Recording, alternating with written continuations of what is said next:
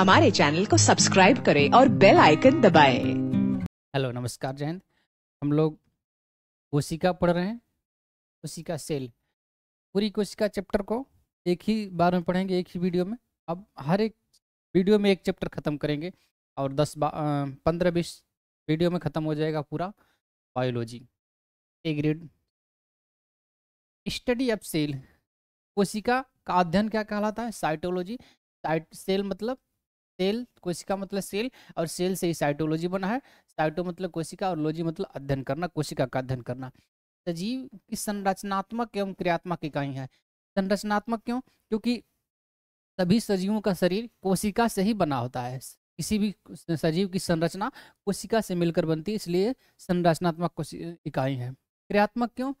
यह सबसे छोटी ऐसी इकाई है जो क्रिया करती है। क्रिया करने का मतलब है ऐसी क्रियाएँ जो हम हम सभी करते हैं हम सब का वृद्धि होता है, विकास होता है, भोजन ग्रहण करते हैं, श्वास लेते हैं, उत्सर्जन करते हैं, ये सभी क्रियाएँ कोशिका करती है। तो इसलिए कोशिका क्रियात्मक इकाई भी है और संरचनात्मक इकाई भी है। कोशिका बहुत सारी कोशिकाएँ मिलकर कोशिका उत्तक बनाती है टिश्यूज। और उत्तक मिलकर अंग बनाते हैं, जैसे उंगली एक अंग है हाथ एक अंग है, पैर अंग है, कान, नाक, सब कुछ एक अंग है।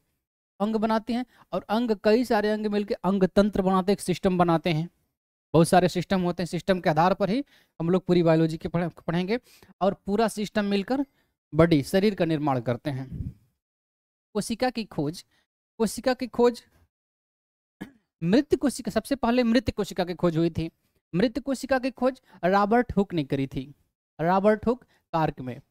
दरअसल पंखा लगता है ना, पंखा का हुक जो होता है तो मृत होता है, वो जीवित तो होता नहीं है। तो रॉबर्ट हुक ने मृत कोशिका की खोज करी थी।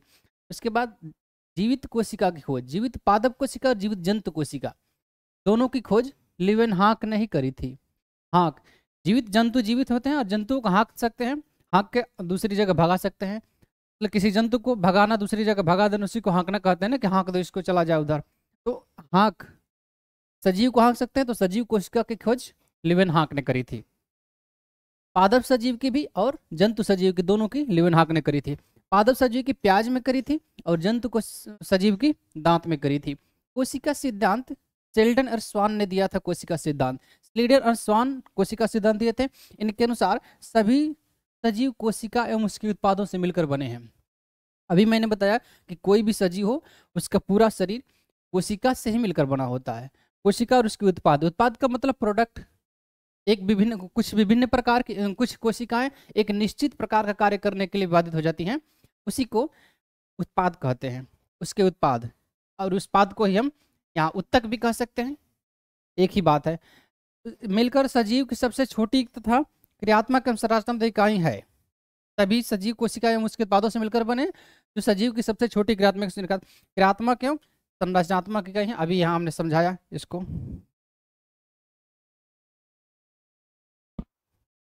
कोशिका सिद्धांत कोशिका सिद्धांत के अपवाद। कोशिका सिद्धांत क्या है कि सभी सजीवों का शरीर कोशिका से ही मिलकर बना होता है। और कोशिका सबसे छोटे संरचना मतलब क्रियात्मक है? कोशिका सिद्धांत है। लेकिन इस कोशिका सिद्धांत के कुछ अपवाद भी मिलते हैं। जैसे वायरस, विषाणु। वायरस क्या होता है? सभी सजीवों में तो कोशिका होती है, लेकिन वायरस में कोशिका नहीं होती है। वायरस में सिर्फ़ एक आवरण ऐसा होता है, सिर्फ़ एक आवरण होता है, इस प्रकार से सिर्फ़ एक आवरण होता है। वो आवरण प्रोटीन से बना होता है और इसे कैप्सिड कहते हैं, इस आवरण को ही कैप्सिड बोलते हैं। और इस आवरण के अंदर न्यूक्लिक पदार्थ होता है, या तो डीएनए होता है, या तो आरएनए होता है, दोनों नहीं होता है। दोनों में से कोई एक होता है, या तो डीएनए एक है, या तो आरएनए। इसीलिए वायरस भी दो प्रकार के होते हैं। यहाँ नहीं पढ़ेंगे वायरस कितने प्रकार के होते हैं, लेकिन इसी आधार पर वायरस भी दो प्रकार के हो जाते हैं। एक ऐसे वायरस जिसमें डीएनए पाया जाता है, एक ऐसे वायरस जिनमें आरएनए पाया जाता है। तो इनमें न्यूक्लिक अम्ल तो होता है, लेकिन या तो डीएनए या तो आरएनए, केवल एक ही होता है। इनके चारों ओर प्रोटीन का आवरण बनता है, जिसे कैप्सिड कहते हैं। ये आवरण को ही कैप्सिड बोलते हैं, प्रोटीन से मिलकर बना होता है। इस सजीव और निर्जीव के बीच की कड़ी है। सजीव और निर्जीव के बीच की कड़ी क्यों? क्योंकि स्वतंत्र अवस्था में निर्जीव के समान रहता है। स्वतंत्र अवस्था में जब निर्जीव के समान रहता है और जब किसी सजीव कोशिका के संपर्क में आता है तो खुद भी सजीव हो जाता है। ये कैसे? क्योंकि इसके पास तो कुछ होता नहीं है। सिर्फ़ डीएनए अथवा सिर्फ़ आरएनए होता है और प्रोटीन होता है, आवरण होता है जो प्रोटीन से बना होता है। तो डीएनए और आरएनए, अगर उसके पास डीएनए है तो आरएनए की ज़रूरत पड़ेगी। तो आरएनए कहाँ से लेगा? जब किसी कोशिका के संपर्क में आएगा तो उससे ले लेगा आरएनए। और जब आरएनए ले लेगा तो सजीव हो जाएगा। अगर उसके पास सिर्फ़ आरएनए है डीएनए नहीं है तो किसी कोशिका के संपर्क में आने से डीएनए ले लेगा और डीएनए ले लेगा तो खुद सजीव हो जाएगा। नेक्स्ट है प्रियान। वायराइड। वायराइड। वायराइड ये वा, ये भी वायरस का छोटा भाई है वायराइड। ये भी वायरस के समान ही होता है समान ही होता है लेकिन अपेक्षाकृत छोटा है और पादप रोगकारी जो होता है यानी कि पौधों में ये रोग उत्पन्न करता है वायराइड। वायरस के समान ही होता है, बिल्कुल। लेकिन वायरा, वायरस क्या करता है ये जंतुओं में रोग उत्पन्न करता है और वायराइड पादपों में रोग उत्पन्न करता है। इसमें प्रोटीन अनुपस्थित होता है। ये भी, वायराइड भी, इसमें भी एक कैप्सिड पाया जाता है, लेकिन ये कैप्सिड प्रोटीन का नहीं बना होता है। वायरस वाला कैप्सिड प्रोटीन का बनाता है, लेकिन वायराइड वाला प्रोटीन का नहीं बना इसमें भी या तो डीएनए होता है, या तो आरएनए होता है। वहीं काम सिर्फ़ जित जो वायरस है, वैसे ही वायराइड है, बस इसमें प्रोटीन का अंतर होता है। प्रियान एक होता है प्रियान प्रियान क्या होता है? इसमें प्रोटीन ये केवल प्रोटीन द्वारा निर्मित होता है। इसमें न्यूक्लिक अम्ल पाया नहीं पाया जाता। ये केवल एक कैप्सिड होता है जो प्रोटीन से बना होता है, लेकिन इसमें आरएनए और डीएनए कुछ नहीं होता है। यानी कि न्यूक्लिक अम्ल नहीं न्यूक्लिक पदार्थ नहीं पाया जाता है। जंतु पादक में तंत्रिका संबंधी, यानी कि मस्तिष्क संबंधी रोग उत्पन्न करते हैं, तंत्रिका संबंधी रोग उत्पन्न करते हैं। एक है आरबीसी, लाल रक्त कणिका है। ये केंद्रक विहीन होती है आरबीसी। कोशिका सिद्धांत क्या है? कि सभी सजीवों का शरीर कोशिका से मिलकर बना होता है, और कोशिका है तो उसमें केंद्रक भी होता है, लेकिन आरबीसी जो है, इसमें केंद्रक नहीं होता है। आरबीसी का मतलब लाल रक्त कणिका है। और जो केंद्रक केंद्रक को क्या बोलते हैं? केंद्रक जो है कि कोशिका का मस्तिष्क होता है तो जिसके पास मस्तिष्क ही नहीं होगा तो गुस्से में लाल पीला हो जाएगा। तो इसी लाल लाल रक्त कणिकाओं में मस्तिष्क नहीं होता, यानी कि केंद्रक नहीं होता है। Rudolf Virchow. रुडाल्फ विर्चो के अनुसार प्रत्येक नई कोशिका की उत्पत्ति अपनी पूर्ववर्ती कोशिका से होती है। आमनी सेलुला, ई सेलुला। प्रत्येक नई कोशिका की उत्पत्ति अपनी पूर्ववर्ती कोशिका से होती है। वही बात है कि प्रत्येक बच्चे की उत्पत्ति पिता से ही होती है, अपने माता पिता से ही होती है। कोशिका में स्वतः प्रजनन होता है। ये स्वतः प्रजनन होता है, सेल्फ रिप्रोडक्शन। इसमें स्वतः प्रजनन कैसे होता है? क्योंकि ये विखंडन और मुकुलन द्वारा इसमें प्रजनन होता है। अभी आएगा आगे। विखंडन हो क्या होता है? कोशिका से थोड़ा सा भाग टूट कर अलग हुआ और एक नई कोशिका बन गया। मुकुलन क्या हो गया होता है, जिस प्रकार से पौधों में एक नई कली उत्पन्न होती है, उसी प्रकार से कोशिका में भी कहीं से एक नई कोशिका टाइप की उत्पन्न होती है और वो अलग होकर एक नई कोशिका बन जाती है।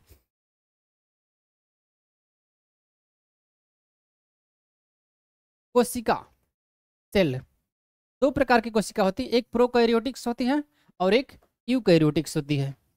प्रोकैरियोटिक्स, प्रो मतलब पहले और कैरियोट्स मतलब केंद्रक की, का विकास से पहले। इसलिए इसे प्राक केंद्र की कहते प्राक मतलब पहले और केंद्र की मतलब केंद्रक के विकास से पहले। असीम केंद्र की, जिसमें केंद्रक है ही नहीं। यही है प्रोकैरियोटिक्स, जिसमें केंद्रक का विकास नहीं हुआ है। यूकैरियोटिक्स इसमें केंद्र का विकास हुआ, सुकेंद्र की मतलब केंद्रक सहित ससीम केंद्र की, केंद्र के साथ। यानी कि यूकैरियोटिक, प्रोकैरियोटिक्स में केंद्र का विकास नहीं हुआ अभी, और प्रो, यूकैरियोटिक्स में केंद्र का विकास हो चुका है। ये प्रोकैरियोटिक्स कोशिका आप देख रहे हैं यहाँ पे, ये यूकैरियोटिक्स कोशिका आप देख रहे हैं। इसमें आपको कोई कोशिकांग ज़्यादा नहीं दिख रहा है, इसमें सब माइट्रोकांड्रिया कोशिका माइस्ट्रोकांड्रिया कोशिका, वित्तीय कोशिका, झिल्ली सब, ये इंटोप्लाज्मिक रेटिकुलम, ये गल्जी बॉडी सब कुछ इसमें आपको दिख रहा है।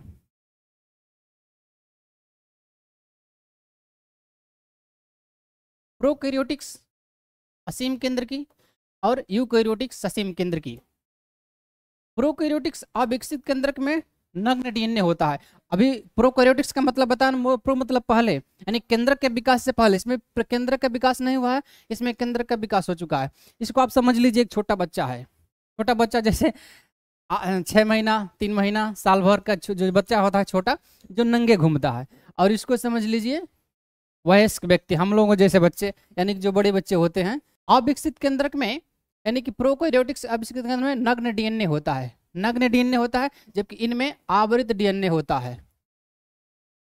प्रोकैरियोटिस, जिसमें अविकसित केंद्रक होता है, केंद्रक का विकास नहीं हुआ होता है, इसमें नग्न डीएनए पाया जाता है।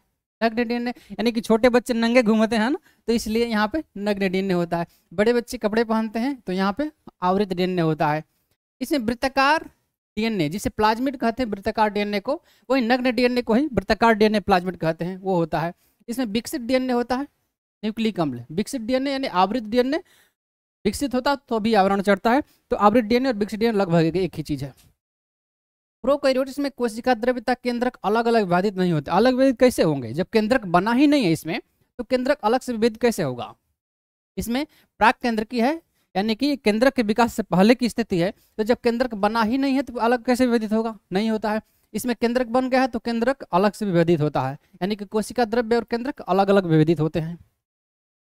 इसमें माइट्रोकांड्रिया लवक, लाइसोसोम गाल्जिकाय आदि कोशिकांग अनुपस्थित होते हैं। जब केंद्रक नहीं बना है तो ये कोशिकांग भी अभी पूर्ण रूप से नहीं बने हैं। तो इसलिए अनुपस्थित होते हैं ये कोशिकांग, क्योंकि पहले केंद्रक ही बनता है उसके बाद ये बनते हैं। इसमें यूकोरियोट्स में माइट्रोकांडिया लवक क्लाइसोसोम, गाल्जिका आदि सभी कोशिकांग पाए जाते हैं, क्योंकि इसमें केंद्रक मिलता है तो ये भी मिलते हैं। इसमें प्रोकैरियोट्स में श्वसन प्लाज्मा झिल्ली में होता है। श्वसन का काम है माइट्रोकांडिया में हो रहा है। माइट्रोकांडिया में होता है, इसीलिए कोशिका का फेफड़ा माइट्रोकांडिया को कहते हैं, क्योंकि हमारा श्वसन फेफड़े में होता है और कोशिका में माइट्रोकांडिया में होता है तो माइट्रोकांडिया को कोशिका का फेफड़ा कहते हैं माइट्रोकांडिया का। तो श्वसन कहाँ होता है? सामान्य परिस्थिति ये है कि श्वसन होगा किसमें? माइट्रोकांड्रिया में होगा। लेकिन यहाँ तो माइट्रोकांड्रिया लवो के साले सब मिलते ही नहीं है। जब मिलते नहीं है तो फिर प्लाज्मा झिल्ली में होगा तब, बाहरी परत में। और यहाँ पर माइट्रोकांडिया सेंट्रोकोडिया सब मिलते हैं तो इसलिए श्वसन माइट्रोकांड्रिया में ही होता है इसमें। प्रोकैरियोट्स में क्या होता है? केंद्रक झिल्ली तक केंद्रिका अनुपस्थित होती है। केंद्रिका क्या चीज़ होती है? केंद्रिका केंद्र केंद्रक के अंदर होती है। केंद्रक पढ़ेंगे तो देखेंगे केंद्रिका क्या चीज़ होती है। तो केंद्रक के अंदर एक छोटी सी होती है केंद्रिका। तो केंद्रक ही जब नहीं होता है तो केंद्रिका कहाँ से होगी? और इसमें केंद्रक झिल्ली तक केंद्रिका होती है सब इसमें होती है। ये छोटे बच्चे कम पैसा रखते हैं और बड़े बच्चे ज़्यादा पैसा रख, रखते हैं। यानी कि प्रोकैरियोट्स में राइबोसोम्स तो होता है जो सेवेंटी एस प्रकार का होता है। राइबोसोम भी दो प्रकार के होते हैं, सेवेंटी और एटी एस तो राइबोसोम सेवेंटी एस प्रकार का होता है प्रोकैरियोट्स में, और यूकैरियोट्स में राइबोसम्स एटी एस प्रकार का होता है। इसमें प्रोकैरियोट्स में लैंगिंग जनन नहीं होता है, और यूकैरियोट्स में लैंगिंग जनन होता है। बच्चे, छोटे बच्चे लैंगिक जनन थोड़े नहीं कर पाएँगे। उसी मौका भी नहीं देंगे तो मौका देंगे तो भी नहीं कर पाएँगे। लेकिन बड़े बच्चे हैं, अगर मौका मिले तो लैंगिक जनन कर देंगे तुरंत। तो कोशिका विभाजन प्रोकैरियोट्स में प्रोकैरियोट्स में कोशिका विभाजन विखंडन अथवा मुकुलन द्वारा होता है। इसमें कोशिका विभाजन नहीं होता है। जब लैंगिक जनन नहीं होता है तो लैंगिक जनन द्वारा तो कोशिका विभाजन होता ही नहीं, क्योंकि लैंगिक जनन इसमें होता ही नहीं है। छोटे बच्चे हैं। और कोशिका विभाजन तब कैसे होगा? नई कोशिका तब कैसे बनेगी? तो विखंडन अथवा मुकुलन द्वारा बनेगी। विखंडन क्या होता है? कोशिका से ही थोड़ा भाग टूट कर अलग हो जाएगा, एक नई कोशिका बन जाएगी, ये होता है विखंडन। मुकुलन क्या होता है? जिस प्रकार से पौधों में एक नई कली उत्पन्न होती है, उसी प्रकार से कोशिका में भी एक कहीं से साइड से एक नली, नई कली टाइप का उत्पन्न होगी और वही कली अलग टूट कर अलग होगी तो उसे नई कोशिका बनेगी, जिसे मुकुलन बोलेंगे। इसमें यूकैरियोट्स में कोशिका विभाजन समसूत्री या अर्धसूत्री विभाजन द्वारा होता है। समसूत्री का मतलब इसमें गुणसूत्रों की संख्या समान होती है। समसूत्री विभाजन में एक कोशिका, दो कोशिका में बदल जाती है और गुणसूत्रों की संख्या समान होती है। यानी कि पेरेंट सेल में जितना होती है डाटर सेल में उतना ही होती है। अर्धसूत्री विभाजन में क्या होता है? एक कोशिका, चार कोशिकाओं में बढ़ती है, लेकिन गुणसूत्रों की संख्या आधी रह जाती है। अभी आएगा ये दोनों। प्रोकैरियोट्स में केवल एक गुणसूत्र होता है। इसीलिए तो कोशिका विभाजन नहीं होता है। कि कोशिका विभाजन दो प्रकार का होता है, समसूत्री या अर्धसूत्री। समसूत्री में कोशिका वज़न उतना ही रहता है, लेकिन और अर्धसूत्री में गुणसूत्रों की आधा हो जाती है। जब एक ही गुणसूत्र है तो आधा कैसे होगा? एक में से आधा तो होगा नहीं। तो इसमें केवल एक ही गुणसूत्र होता है। और यहाँ ये वाला काम वहीं पे होता है, जहाँ जोड़ी में गुणसूत्र होते हैं। आगे आएगा अभी।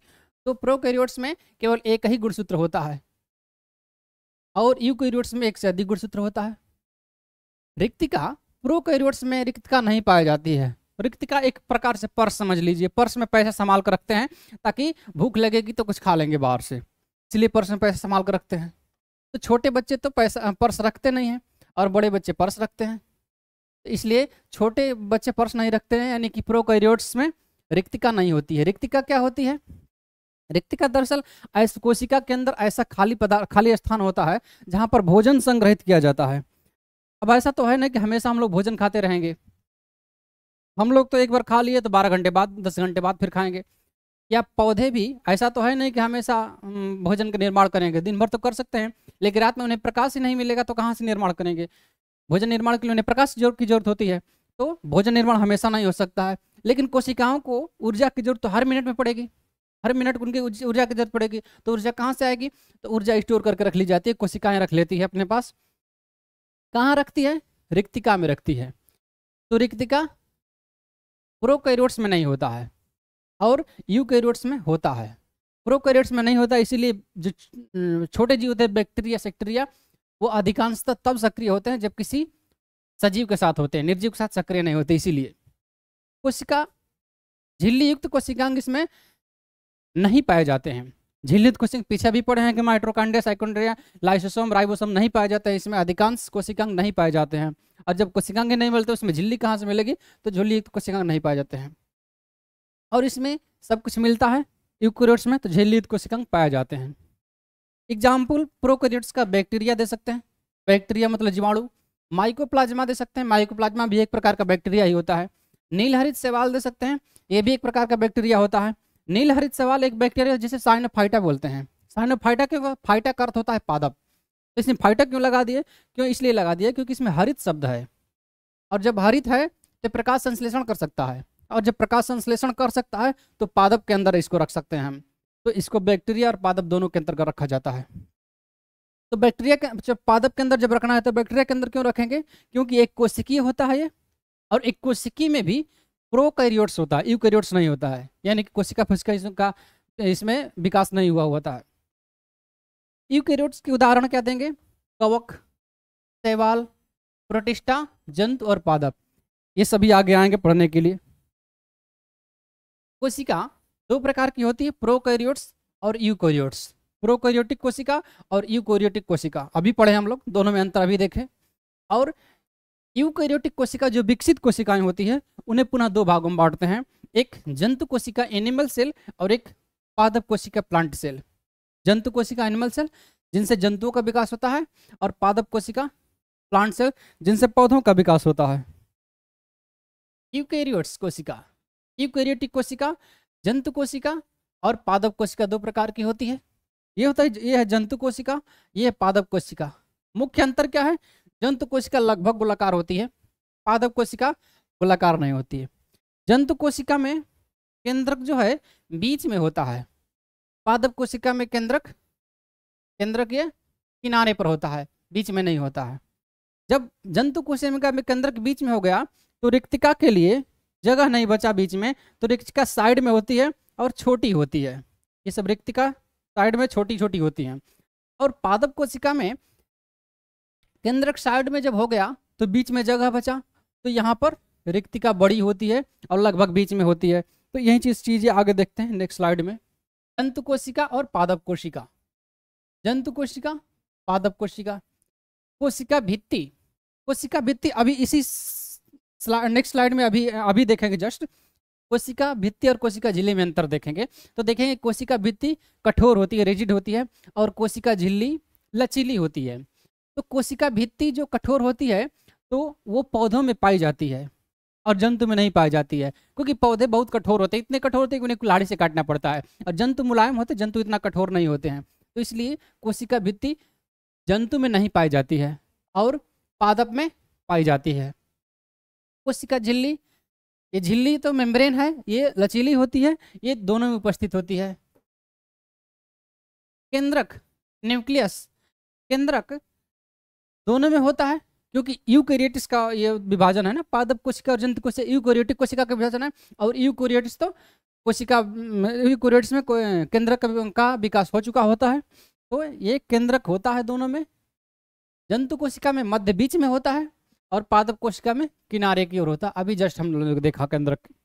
हरित लवक क्लोरोप्लास्ट हरित शब्द आया है, यानी कि हरे रंग का। क्लोरोफिल पाया जाएगा और क्लोरोफिल पाया जाता है प्रकाश संश्लेषण कर सकता है। हरित लवक जहाँ होगा, प्रकाश संश्लेषण किया जा सकता है।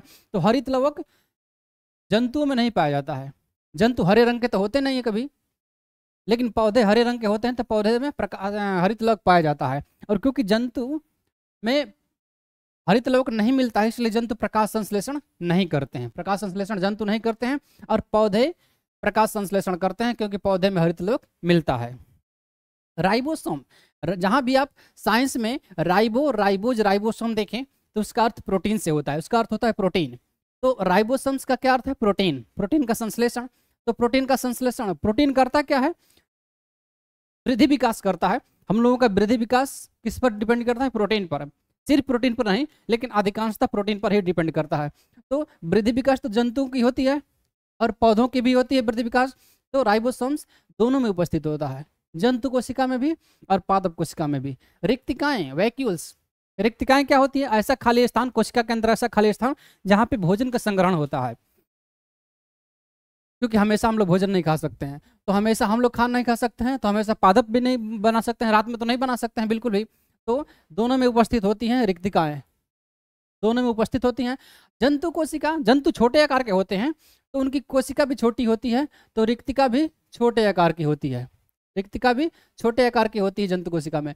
पादप बड़े होते हैं, विशाल होते हैं तो पौधों की कोशिका बड़ी होती है और जब पौधों की कोशिका बड़ी होती है तो बड़ी आकार की रिक्तिका इसमें मिलती है।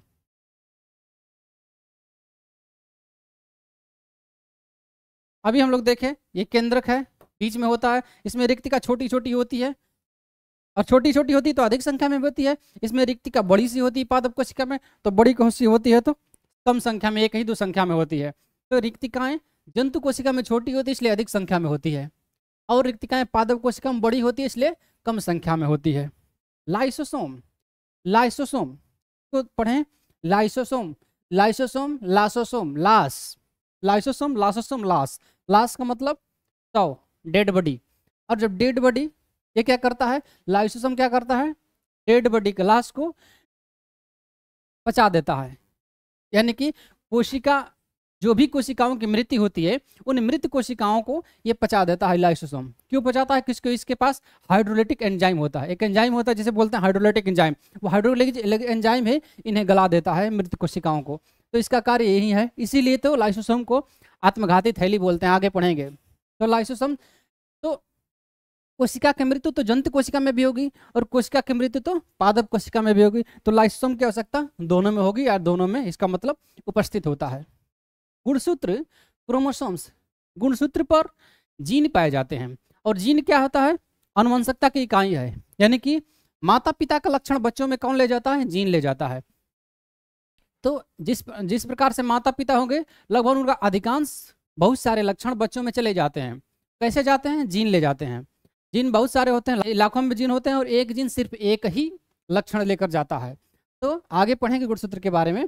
तो फ़िलहाल जाने कि जीन गुणसूत्र पर जीन होते हैं और जीन ही लक्षण लेकर जाते हैं तो जंतु में क्या होता है, अपने माता पिता के समान बच्चे पैदा होते हैं उनके अनुसार, यानी कि जंतु में जीन उपस्थित होते हैं। इसका मतलब गुणसूत्र उपस्थित होता है, लेकिन क्योंकि जीन तो गुणसूत्र पर ही होते हैं तो गुणसूत्र उपस्थित होता है। और जंतु कोशिका छोटी होती है तो इसमें छोटे आकार के गुणसूत्र उत्पन्न होते हैं। पादप में भी उपस्थित होती है। पौधे भी, अगर आम का बीज बोएँगे तो आम ही पैदा होगा अमृत पैदा कभी होगा नहीं। और आम में भी अगर लंगड़ा आम का बीज बोएँगे तो लंगड़ा आम ही पैदा होगा। क्यों? क्योंकि माता पिता का गुण जो है संतान में आ गया, जीन लेकर चले आए। तो इसका मतलब यह है कि उपस्थित इसमें भी होती है, पादप कोशिका में भी। और पादप बड़े आकार के होते हैं, पादप कोशिका बड़े आकार के होती है तो गुणसूत्र में बड़े आकार के। अंतर प्रदीप जालिका ई आर जिस प्रकार से हमारा शरीर किस प्रकार का होगा वो डिसाइड कौन करता है? कंकाल तंत्र। अगर हम मांसपेशियों को हटा दें अपने शरीर से तो कंकाल बचता है। हड्डियों का एक ढांचा जिसे कंकाल बोलते हैं। तो हड्डियों का ढांचा, कंकाल जो होता है, क्या करता है? हमारे शरीर की आकृति कैसी होगी? डिसाइड वही डिसाइड करता है। उसी प्रकार से कोशिका की आकृति कैसी होगी? वो कौन डिसाइड करता है? अंतर प्रद्रवी जालिका। एक जाली टाइप का होता है। जालिका जिसे बोलते हैं अंतर प्रद्रवी जालिका।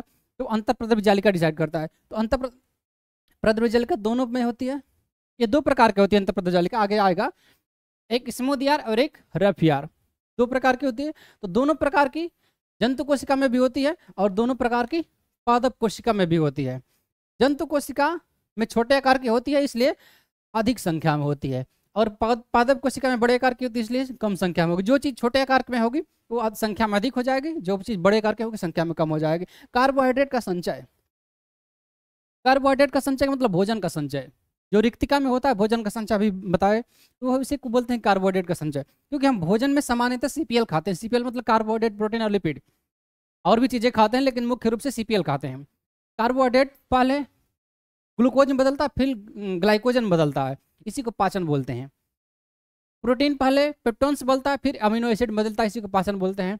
और लिपिड पहले फैटी एसिड में बदलता था, बदलता है, उसके बाद ग्लिसरान बदलता है, इसी को पाचन बोलते हैं। आगे पढ़ेंगे हम लोग जब इसका चैप्टर आएगा तो। तो कार्बोहाइड्रेट का मतलब भोजन का संचय, कार्बोहाइड्रेट का संचय का मतलब।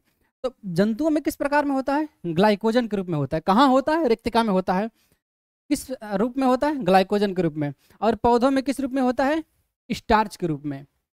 ग्लाइको, जंतु क्या करते हैं? हम लोग क्या करते हैं? ग्लूकोज पीते हैं ना? हम लोग ग्लूकोज पीते हैं तो हम लोगों में अनेक जंतुओं में ग्लाइकोजन के रूप में होता है। पौधों के पास जाएँगे तो टार्च लेकर जाना पड़ेगा, क्योंकि उनके जड़ों में कीड़े मकोड़े हो सकते हैं। तो इसलिए पौधों में स्टार्च के रूप में होते हैं। ग्लाइकोजन का संचय होता है। अब ग्लाइकोजन का संचय होता कहाँ है? भोजन है ग्लाइकोजन और पौधों का भोजन स्टार्च है तो सीधी सी बात है, रिक्तिका में होगा। और रिक्तिका में होता, रिक्तिका तो पूरे शरीर में होती है, क्योंकि पूरे शरीर में कोशिका होती है और हर कोशिका पास, के पास रिक्तिका होती है तो पूरे शरीर में भोजन का संचय होगा। लेकिन अधिक कहाँ होता है? तो जंतुओं में सर्वाधिक होता है यकृत में, लीवर में होता है और पौधों में सर्वाधिक होता है जड़ों में। पौधों के पास टार्च लेकर क्यों जाते हैं? क्योंकि उनके जड़ों में हो सकते हैं कीड़े मकोड़े। तो पादप कोशिका में सर्वाधिक, स्टार्च के रूप में होता है। कहाँ सर्वाधिक होता है? होता तो पूरे शरीर में है, लेकिन सर्वाधिक जड़ों में होता है। उसी प्रकार जंतुओं में होता तो पूरे शरीर में है, लेकिन सर्वाधिक लीवर यकृत में होता है। जंतु कोशिका, तारक का, सेंट्रियोसम क्या होता है? इसका कार्य कोशिका का विभाजन में ये मदद करता है, लेकिन मुख्य कार्य इसका फैलेजिला और सीलिया का निर्माण करना है। फैलेजिला और सीलिया का निर्माण करना है। ये देखिए, ये प्रोकैरियोटिस है तो ये फैलेजिला होता है। ये एक बड़ी सी धागे के अनुसार यह है, ये फैलेजिला होती है। और ये छोटी छोटी जो होती है यहीं सीलिया होती है। इसका कार्य क्या होता है? क्योंकि जीवाणु जो बने होते हैं, सिर्फ़ एक कोशिका से बने होते हैं, उनके पास न पैर होता है, ना हाथ होता है तो एक जगह से दूसरी जगह कैसे जाएँगे? इन्हीं की सहायता से जाते हैं सेलेजिला सीलिया की सहायता से। क्योंकि प्रोकैरियोट्स प्रकार के होते हैं ना।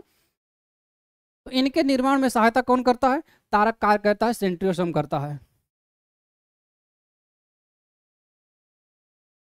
तारक का सेंट्रियोसम इनके निर्माण में सहायता करता है। तो जंतु कोशिका में तारक का उपस्थित होता है, पादप कोशिका में उपस्थित नहीं होता है, क्योंकि पादप कोशिका जो है उसमें पादप कोशिका में यूकैरियोट्स वाला नहीं है, झंझट है। तो इसलिए पादप कोशिका में नहीं होता है, सिर्फ़ जंतु कोशिका में ही होता है। क्या आप देख सकते हैं? ये है जंतु कोशिका और ये है पादप कोशिका। कोशिका संरचना नेक्स्ट है कोशिका संरचना। कोशिका संरचना को समझने के लिए हम तीन भागों में बांट सकते हैं कोशिका को। एक कोशिका आवरण। कोशिका आवरण क्या होता है? कोशिका झिल्ली और कोशिका भित्ति होती है। कोशिका भित्ति और कोशिका झिल्ली। बाहरी भित्ति होती है, अंदर झिल्ली होती है। भित्ति मतलब दीवार। और दीवार तो सबसे बाहरी होती है, बाहर होती है ना? और झिल्ली का मतलब समझ लीजिए पर्दा। एक गेट के बाहर पर्दा भी लगा होता है। तो भित्ति का मतलब दीवार होता है और झिल्ली को पर्दा समझ लीजिए। कोशिका द्रव्य में उपस्थित कोशिकांग। दूसरे भाई, कोशिका आवरण के बाद कोशिका द्रव्य में उपस्थित कोशिकांग और एक होता है केंद्रक। इस प्रकार समझ सकते हैं, एक अंडा लीजिए बॉइल्ड अंडा, उसको तोड़िए उस पर सफ़ेद सफ़ेद कठोर छिलका होता है और छिलका को हटाएँगे तो छिलका को कोशिका भित्ति समझ लीजिए, क्योंकि वो छिलका कठोर होता है तो उसको कोशिका भित्ति समझ लीजिए, दीवार। जब छिलका को हटाएँगे तो उसके अंदर एक प्लास्टिक सी, पतली सी परत पाई जाती है, प्लास्टिक जैसी, पतली सी परतों से वहीं होती है कोशिका, झिल्ली, उसको समझ लीजिए कोशिका झिल्ली। और जब इसको हटा देंगे दोनों को तो सफ़ेद रंग का जो अंडा मिलेगा उसमें खाने वाला, उसको आप कोशिका द्रव्य समझ लीजिए। कोशिका द्रव्य। कोशिका द्रव्य बोल रहा हूँ, द्रव नहीं। द्रव्य में द्रव भी उपस्थित होता है। द्रव्य का मतलब मैटर, जिसमें ठोस द्रव का तीनों आते हैं। और उसको जब तो काटेंगे तो उसमें पीली जर्दी जो होती है, उसी को आप केंद्रक समझ सकते हैं। इस प्रकार से आप समझ सकते हैं कोशिका संरचना को। कोशिका भित्ति। देखिए, कोशिका संरचना जो जीव द्रव्य क्या होता है? कई बार क्वेश्चन पूछा जाता है जीव द्रव्य क्या होता है? देखिए, कोशिका ये भित्ति होती है, बाहरी आवरण कोशिका भित्ति, उसके अंदर कोशिका झिल्ली, ये कोशिका द्रव्य होता है और ये केंद्रक होता है। जीव द्रव्य क्या होता है? जो ये होता है कोशिका द्रव्य, कोशिका के अंदर उपस्थित द्रव्य, कोशिका द्रव्य होता है, वो ठोस भी हो सकता है, गैस भी होता है, गैस नहीं होता है, द्रव भी हो सकता है। और केंद्रक के अंतर्गत उपस्थित द्रव्य, कोशिका केंद्रक द्रव्य बोलते हैं। तो कोशिका द्रव्य और केंद्रक द्रव्य दोनों को मिलाकर जीव द्रव्य बोलते हैं। प्रोटोप्लाज्म अब कोशिका भित्ति क्या होती है? सेल वॉल क्या होती है? भित्ति क्या होती है? दीवार क्या होती है? कठोर होती है ना? तो ये रिजिड होती है, कठोर होती है। कोशिका भित्ति कठोर होती है। कोशिका को निश्चित आकार प्रदान करती है। कोशिका जब कठोर होगी, दीवार क्या कठोर होती है तो क्या करती है? एक अपने घर को एक निश्चित आकार दे देती है किसी आकार में इतने में घर रहेगा। तो इसलिए यही काम कोशिका भित्ति भी करती है। कोशिका भित्ति ये पादप में सेलुलोज से बनी होती है। इसको याद करना पड़ेगा आपको। पादप में सेलुलोज से बनी होती है, कवक में काइटिन से बनी होती है और बैक्टीरिया में पेप्टोग्लाइकेन से बनी होती है। ये अर्ध पारगम में होती है। अर्ध पारगम में को होती है? अंडा को जब आप बॉइल्ड करते हैं तो अंदर कैसे, अंदर जो होता है, कैसे सॉलिड कैसे हो जाता है? क्योंकि वो भाप अंदर चला जाता है और उसको सॉलिड बना देता है। तो भाप अंदर कैसे जाता है? इसका मतलब छिलका अर्ध पारगम में होता है तभी तो। तो कोशिका भित्ति अर्धपारगम्य होती है। कोशिका झिल्ली, अब इसके बाद कोशिका झिल्ली क्या होती है? सेल मेम्ब्रेन से बोलते हैं, कोशिका झिल्ली। सभी प्रकार की कोशिकाओं में होती है। कोशिका भित्ति तो सिर्फ़ पादप कोशिकाओं में होती है, जंतु कोशिकाओं में नहीं होती है, लेकिन कोशिका झिल्ली सभी प्रकार की कोशिकाओं में होती है। ये लचीली होती है, फ्लेक्सिबल होती है। क्योंकि आप बताए, हैं ना, कि वो पतली झिल्ली प्रकार की होती है, प्लास्टिक प्रकार की होती है तो बिल्कुल लचीली होती है। ये चयनात्मक अर्धपारगम में होती है अभी बता रहे चयनात्मक अर्धपारगम क्या होता है। इसे प्लाज्मा झिल्ली भी कहते हैं। कोशिका को प्लाज्मा झिल्ली भी कहते हैं। ये वसा की दोहरी परत एवं प्रोटीन से मिलकर बना होता है। वसा की दोहरी परत तो प्रोटीन से मिलकर बना होता है। किसका प्लाज्मा झिल्ली अथवा कोशिका झिल्ली। इसका बाहरी सिरा जल रागी आंतरिक सिरा जल विरागी होता है। ये कोशिका द्रव्य में आनिक सांद्रता के अंतर को बनाए रखने में सहायता करती है। कैसे करती है? देखिए, कोशिका झिल्ली, कोशिका भित्ति और कोशिका झिल्ली। ये दोनों अर्धपारगम्य होती है। अर्धपारगम्य का मतलब कि उसके अंदर से कुछ चीज़ें अंदर जा सकती हैं और कुछ चीज़ें नहीं जा सकती हैं। और कुछ चीज़ें बाहर आ सकती हैं, कुछ चीज़ें बाहर नहीं आ सकती हैं। तभी तो क्योंकि पूरा शरीर कोशिका से बना होता है और अंदर नहीं जाएगी तो फिर रोक लेगा तो फिर कैसे भोजन वोजन अंदर कैसे जाएगा? या जल ओल कैसे अंदर जाएगा? तो इसे अर्धपारगम में होती है दोनों। कोशिका झिल्ली भी अर्धपारगम में होती है, कोशिका भित्ति भी होती है। लेकिन कोशिका झिल्ली चयनात्मक होती है। सेलेक्टिव होती है। वो चयन कर सकती है कि कौन अंदर जाएगा, कौन अंदर नहीं जाएगा। इसे इस प्रकार समझ सकते हैं कि लड़के क्या होते हैं, लड़के जो होते हैं, वो अर्धपारगम में तो होते हैं। यानी कि अपने अंदर समाहित उसी को करते हैं, जो ठीक ठाक देखने में होती हैं। लेकिन और इसी प्रकार से, लेकिन लड़कियाँ क्या होती हैं? लड़कियों को इसका जिली समझ लीजिए। और लड़कियाँ क्या होती है? वो भी अर्धपारगम में होती है। वो भी डिसाइड लेकिन वो डिसाइड करती हैं कि कौन जो है कि सिलेक्ट है, होने लायक है, कौन अपने पैरों पर खड़ा कौन दो पाँच चार पैसे कमा रहा है, इत्यादि बहुत सारी चीज़ें वो सिलेक्ट करती हैं। ऐसे मुँह उठा के किसी को नहीं सिलेक्ट कर लेती हैं, जबकि लड़के मुँह उठा के किसी को सिलेक्ट कर लेते हैं। तो इस, इसलिए कोशिका झिल्ली चयनात्मक अर्धपरगाम में होती है। इसे प्लाज्मा झिल्ली कहते हैं। वासा की दोहरी परत प्रोटीन से मिलाते हैं, इसलिए आंतरिक सिरा जल रागी और बाहरी सिरा जल विरागी होता है। इसे बाहरी सिरा जल रागी और आंतरिक सिरा जल जैसे आप समझ लीजिए ऐसे। ये कोशिका झिल्ली है। बाहर से अं, इसे आप ऐसे समझ लीजिए। ये कोशिका झिल्ली है।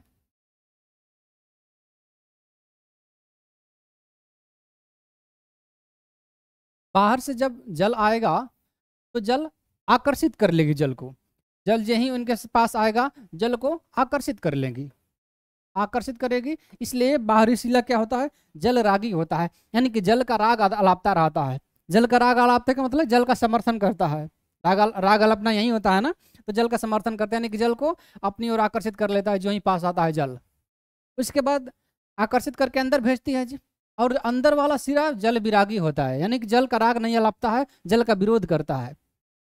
यानी कि जल को प्रतिकर्षित करता है और अंदर जो ही जल आता है, जल को प्रतिकर्षित करता है और जब प्रतिकर्षित करता है तो जल अंदर की ओर भाग जाता है।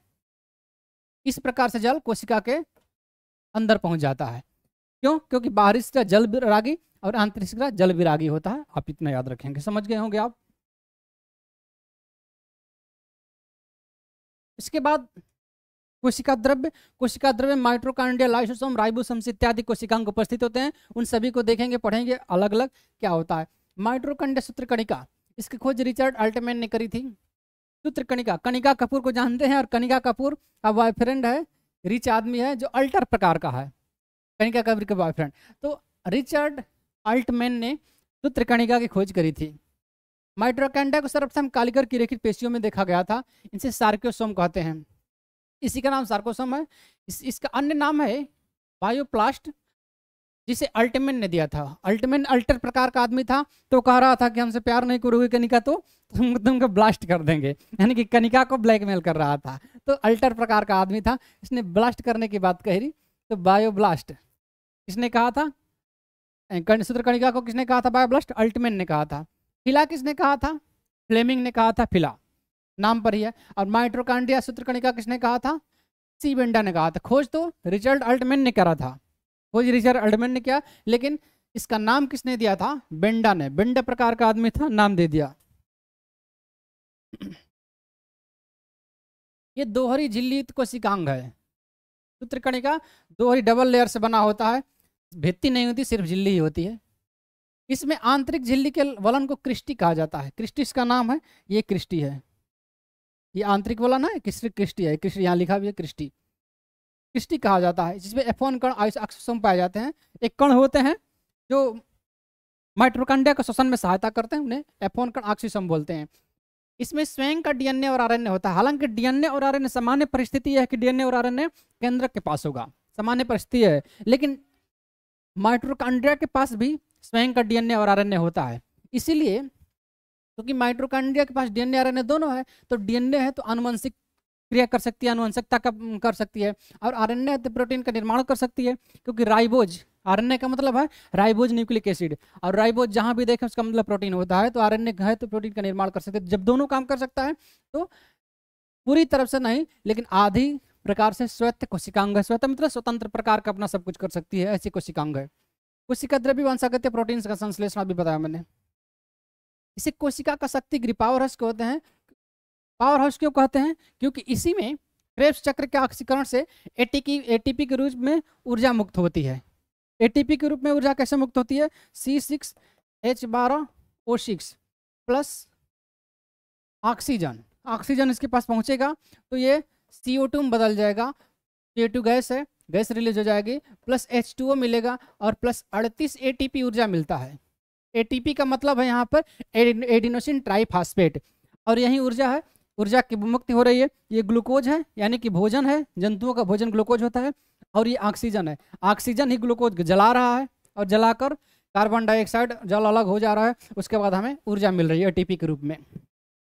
ऊर्जा कौन दिलवा रहा है? माइट्रोकांड्रिया ये सब काम कहाँ होता है? माइट्रोकांड्रिया में होता है। इसीलिए इसे शक्तिगिरी पावर हाउस कहते हैं। कोशिका का दूसरा सबसे बड़ा भाग है माइट्रोकांड्रिया तो पहला कौन है? पहला केंद्रक है सबसे बड़ा भाग। कोशिका कौन है? केंद्रक। दूसरा सबसे बड़ा भाग कौन होता है? माइट्रोकांड्रिया इसका आकार एवं आकृति परिवर्तनशील होती है। सामान्य आकृति यही होती है, लेकिन गारंटी नहीं है कि यही आकृति होगी। परिवर्तनशील भी होती है। पाचन तंत्र में कोशिकीय शोषण में सबसे संबंधित कार्य करता है। कोशिकीय शोषण, इसी को तो बोलते हैं कोशिकी शोषण। जो ऊर्जा मुक्त होती है, इसी को कोशिकीय शोषण बोलते हैं। और पाचन तंत्र? पाचन तंत्र, ये ग्लूकोज, यही तो भोजन है ना? हम लोगों का भोजन, जंतुओं का भोजन यही तो है। और इसी को पाचन कर दे, यानी यानी कि इसी को जलाकर ऊर्जा दे रही है, यानी कि इसका पाचन कर दे रही है। तो इसलिए पाचन तंत्र कोशिकीय श्वसन से संबंधित कार्य कर रहा है। लवक, प्लास्टिड, इसकी खोज हैकेल ने करी थी। शब्द सिंपर ने दिया था। शैम्पू लगा के और हकला रहा है। प्लास्टिक प्लास्टिक वाला शैम्पू लगा के हकला रहा है। यानी कि प्लास्टिक वाला शैम्पू मतलब प्लास्टिक की खोज लवक की खोज सिमसर ने करी थी। हैकेल ने खोज सिम्पसर ने करी थी और शब्द सिमसर ने दिया था और खोज हैकेल ने करी थी।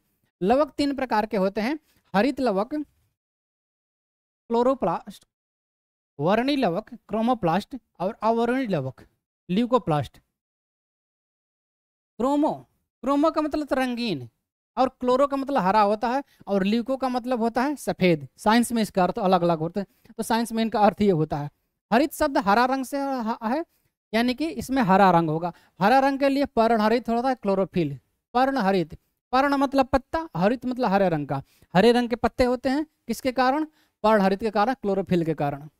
ये वर्णक है पिगमेंट वर्णक का मतलब रंग देने वाला होता है। वर्ण का मतलब रंग है, होता है। तो वर्णक का मतलब रंग देने वाला।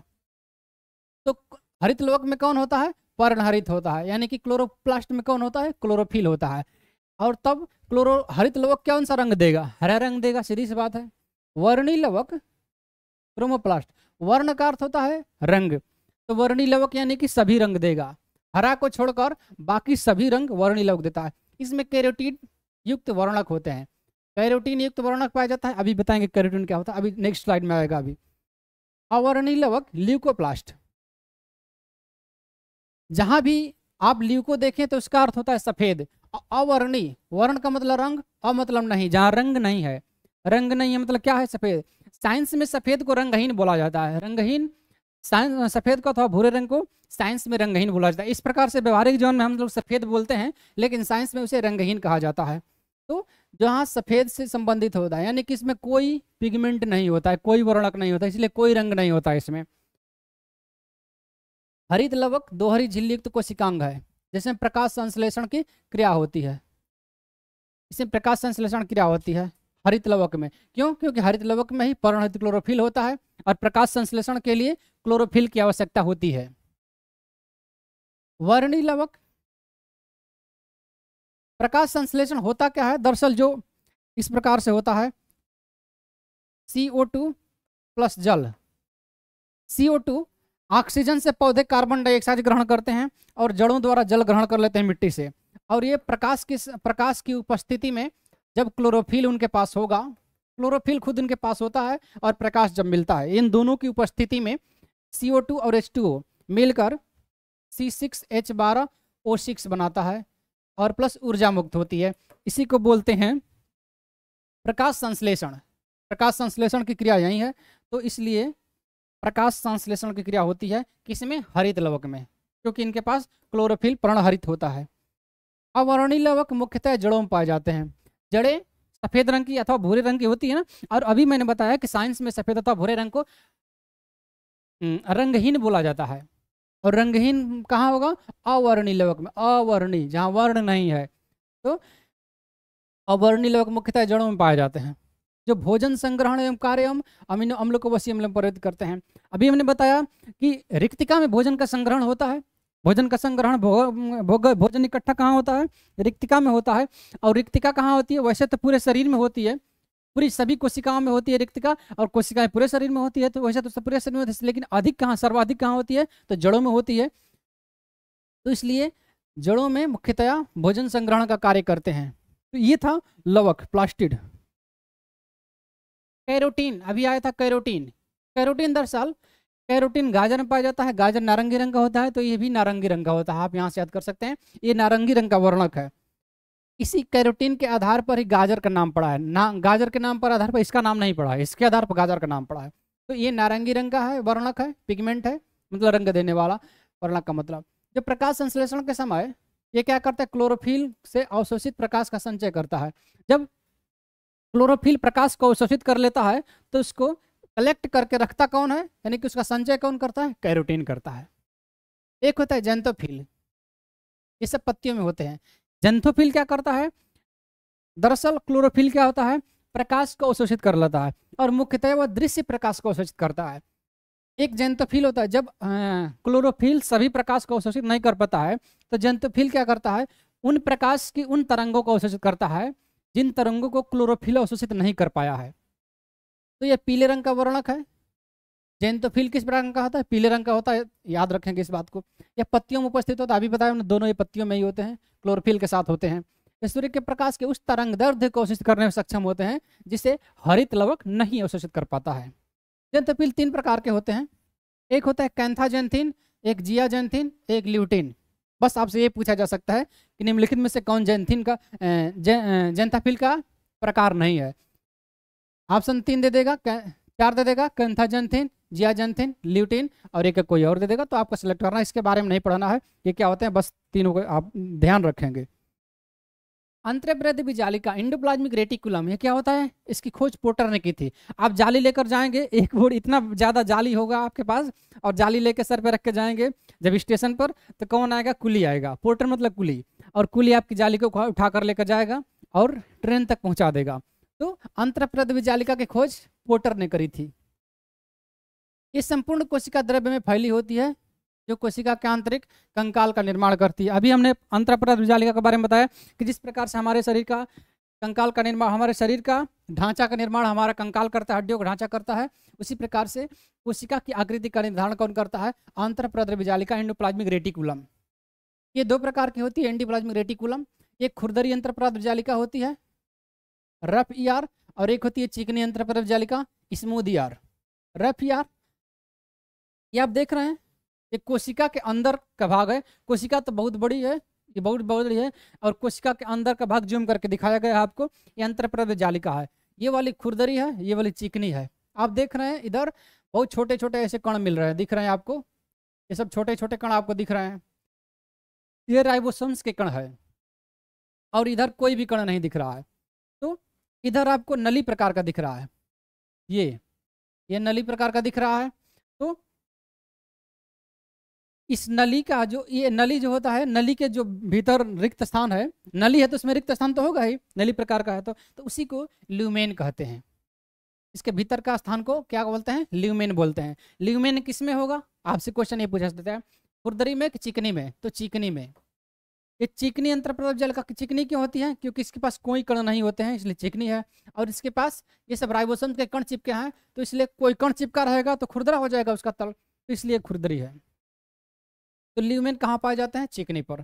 खुरदरी अंतर रफ यार और चिकनी अंतर जालिका स्मूद यार खुरदरी अंतर रफ यार खुरदरी क्यों हो जाती है? क्योंकि उसके पास राइबोसम्स के कण चिपके रहते हैं। कण चिपके रहते हैं इसलिए इसे कणिका मय भी बोलते हैं। कणिका मतलब जहाँ पे कण चिपके हैं। तो कणिका मय अंतर जालिका भी से बोलते हैं। यहाँ पर क्या होता है? चिकनी अंतर जल में कोई राइबोसम कण नहीं चिपका है। जब कोई नहीं चिपका, इसे अकणिकामय अंतर जालिका बोल सकते हैं। खुरदरी अंतर जल का खुरदरी क्यों है? क्योंकि उसके पास राइबोसम्स के कण चिपके रहते हैं। और राइबोसम्स का अर्थ प्रोटीन होता है तो यहाँ पर क्या होता है? प्रोटीन का संश्लेषण हो सकता है। रफियार के पास प्रोटीन का संश्लेषण होता है। और प्रोटीन से झिल्ली बनी होती है कोशिका झिल्ली तो कोशिका झिल्ली के निर्माण में सहायक होती है। कौन सी? रफियार। स्मूथ यार, यानी कि चिकनी वाली क्या होती है? इसके पास कोई राइबोसम्स के कण नहीं होते हैं। और राइबोसम्स कण नहीं होते हैं, इसका मतलब प्रोटीन का निर्माण ये नहीं करती है। जब प्रोटीन का निर्माण नहीं करती है तो किसका निर्माण करेगी? कार्बोहाइड्रेट और लिपिड का। हमने बताया हम भोजन में सीपीएल खाते हैं। सीपीएल मतलब कार्बोहाइड्रेट, प्रोटीन और लिपिड। कार्बोहाइड्रेट, प्रोटीन और लिपिड। तो प्रोटीन का निर्माण ये करी, बचा क्या? कार्बोहाइड्रेट और लिपिड बचा तो कार्बोहाइड्रेट और लिपिड का निर्माण ये करती है। संश्लेषण ये करती है। खुरदरी यंत्र पर जो रफ ईयर क्या होता है? ये केंद्रक के पास होती है। अधिक स्थायी होती है। दरअसल, खुरदरी के पास क्या होता है? राइबोसम्स कण होते हैं। और राइबोसम्स मुख्य रूप से कहाँ होते हैं? वैसे तो पूरे कोशिका में होते हैं, लेकिन मुख्य रूप से केंद्रक में होते हैं। और इस पर भी राइबोसम्स होते हैं तो इसलिए केंद्रक के पास ही होती है। तो इसलिए केंद्र के पास होती है। जब केंद्र के पास होती है मतलब बीच में होती है तो अधिक अस्थायी हो जाती है। कोई भी चीज़ ज़्यादा बीच में होगा तो मुख्य रूप से अस्थायी हो जाएगा वो। और किनारे पर होगा तो कम अस्थायी हो जाएगा। तो इसके पास, चिकनी के पास ये राइबोसम्स कण नहीं होते हैं, इसलिए केंद्रक से दूर होती है और जब दूर होती है तो कम अस्थायी होती है। कुछ डब्ल्यूबीसी में जालिका एंटीबॉडी का निर्माण करती है, क्योंकि एंटीबॉडी का निर्माण करने के लिए हम लोग प्रतिरक्षा तंत्र जो एक चैप्टर आएगा तो प्रतिरक्षा तंत्र में हम लोग पढ़ेंगे, एंटीबॉडी का निर्माण कैसे होता है तो वहाँ पढ़ेंगे कि प्रोटीन से ही एंटीबॉडी का निर्माण होता है मुख्य रूप से। तो प्रोटीन किसके पास है? खुरदरी के पास है। क्योंकि इसी के पास तो राइबोसोम के कण है तो इसके पास प्रोटीन है तो इसलिए डब्ल्यूबीसी के निर्माण में एंटीबॉडी डब्ल्यूबीसी में या एंटीबॉडी का निर्माण करती है। चिकनी क्या करती है? यकृत कोशिका में जालिका ऐसे एंजाइम बनाती है जो किस निश्चित यौगों को निराविष्ट कर डिक्टिफाइड करने के लिए एक क्योंकि ये जो होता है कि लिपिड और कार्बोहाइड्रेट इस प्रकार से रेक्टिफाइड होता है, ये चीज़ को भी हम लोग पढ़ेंगे उसी समय। अग्नाशयी कोशिकाओं में इंसुलिन का उत्पादन करती है। ये कोशिका इंसुलिन का उत्पादन करती है। इंसुलिन एक हार्मोन्स होता है और इंसुलिन उत्पादन करने के लिए प्रोटीन की आवश्यकता पड़ती है। और प्रोटीन कौन बनाता है? खुरदरी बनाती है। इंसुलिन के निर्माण के लिए प्रोटीन की आवश्यकता होती है और हार्मोन्स के निर्माण के लिए प्रोटीन की आवश्यकता नहीं होती है। जब आवश्यकता होती है तो किसके पास प्रोटीन है? खुरदरी के पास। और इसमें आवश्यकता नहीं होती, किसके पास नहीं है प्रोटीन चिकनी के पास। तो इस प्रकार से दोनों में अंतर आप समझ सकते हैं। राइबोसोम्स, इसकी खोज पैलाडे ने की थी? राइबोसोम्स की खोज पैलाडे ने की थी? लाडले ने राइबोसोम्स की खोज की थी?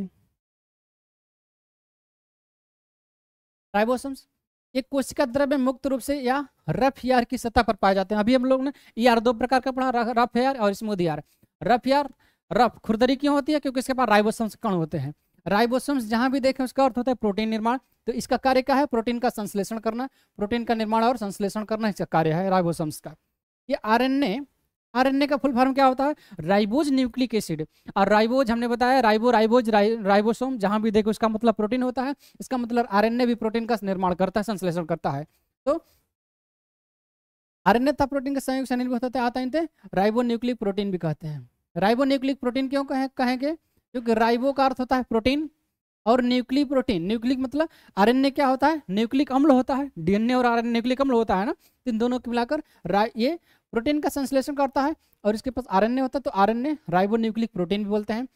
आरएनए की सहायता ये करता है, अथवा इसकी सहायता आरएनए करता है, दोनों एक ही बात है, क्योंकि ये भी प्रोटीन का निर्माण करता है और ये भी प्रोटीन का निर्माण करता है।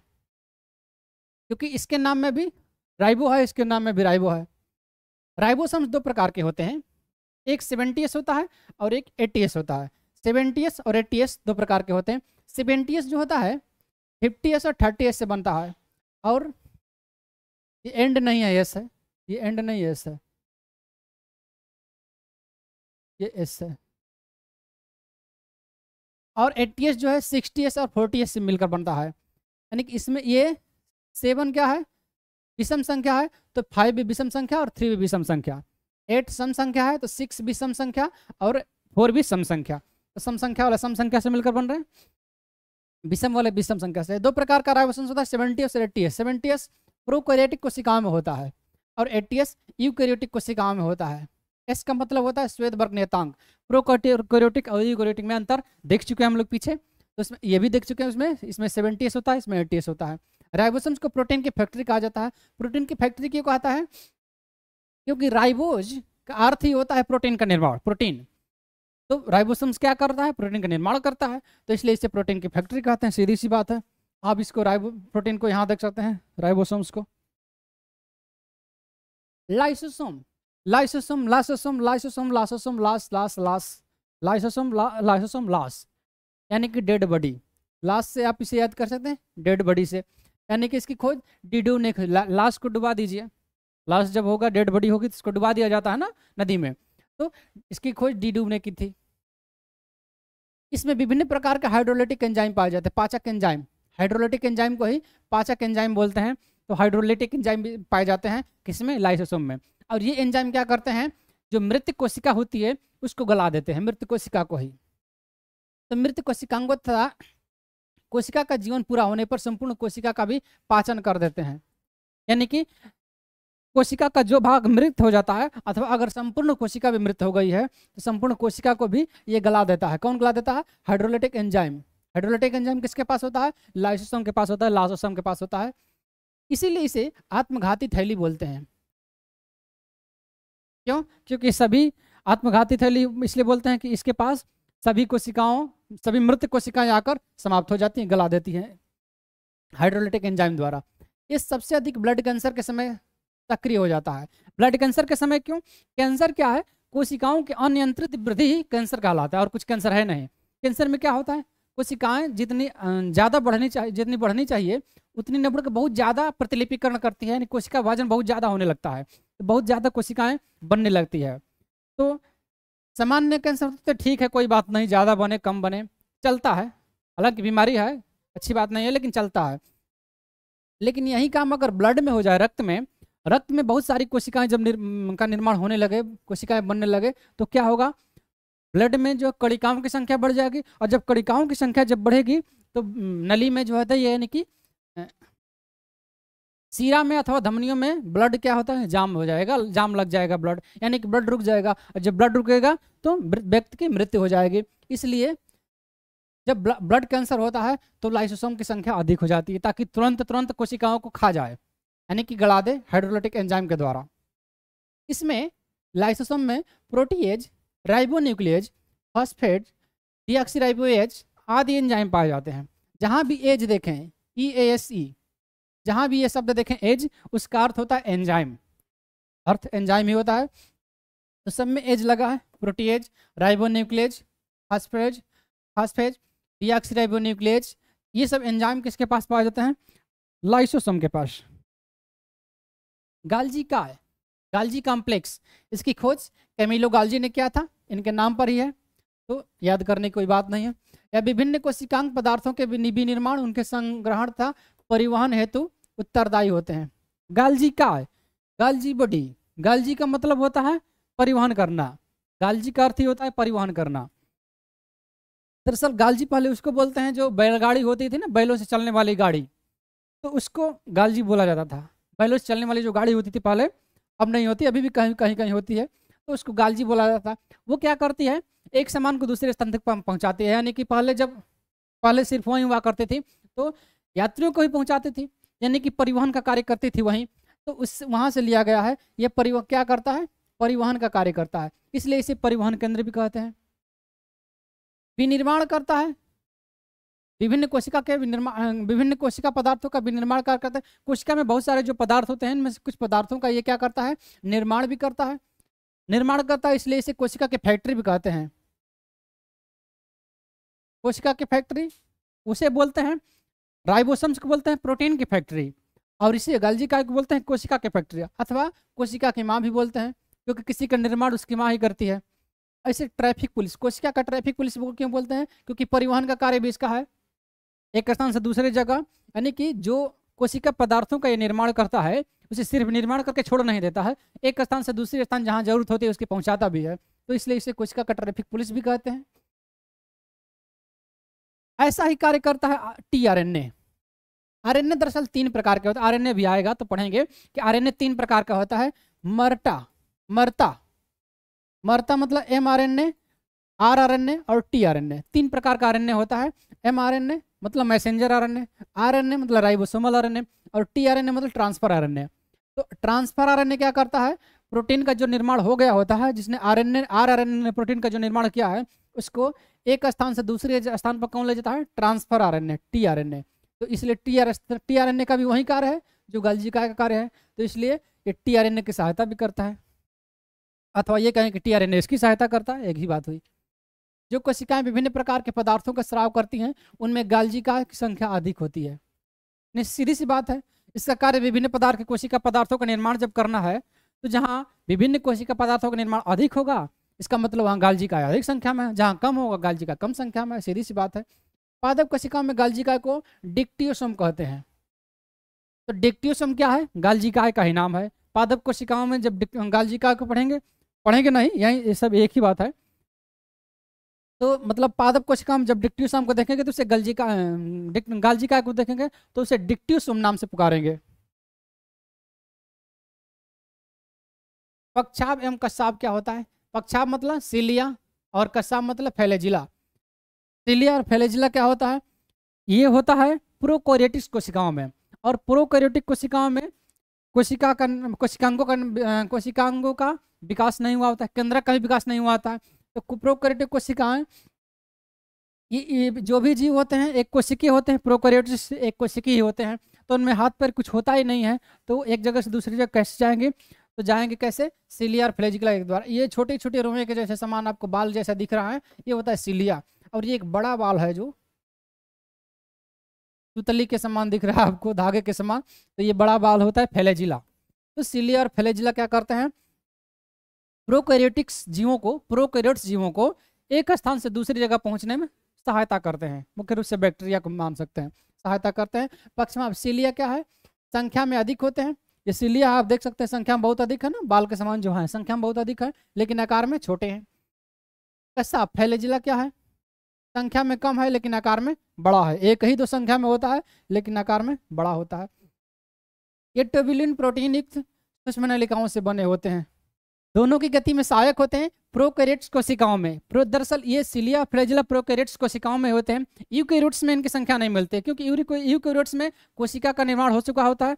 कोशिका में उनका केंद्र का विभाजन हो चुका होता है, विभिन्न कोशिकांगों का विभाजन हो चुका तो इसलिए ये कच्छाप सीलिया और फेलेजिला सिर्फ़ प्रोकैरियोट्स कोशिकाओं में मिलता है यूकैरियोट्स कोशिकाओं में इनकी संख्या नहीं मिलती है।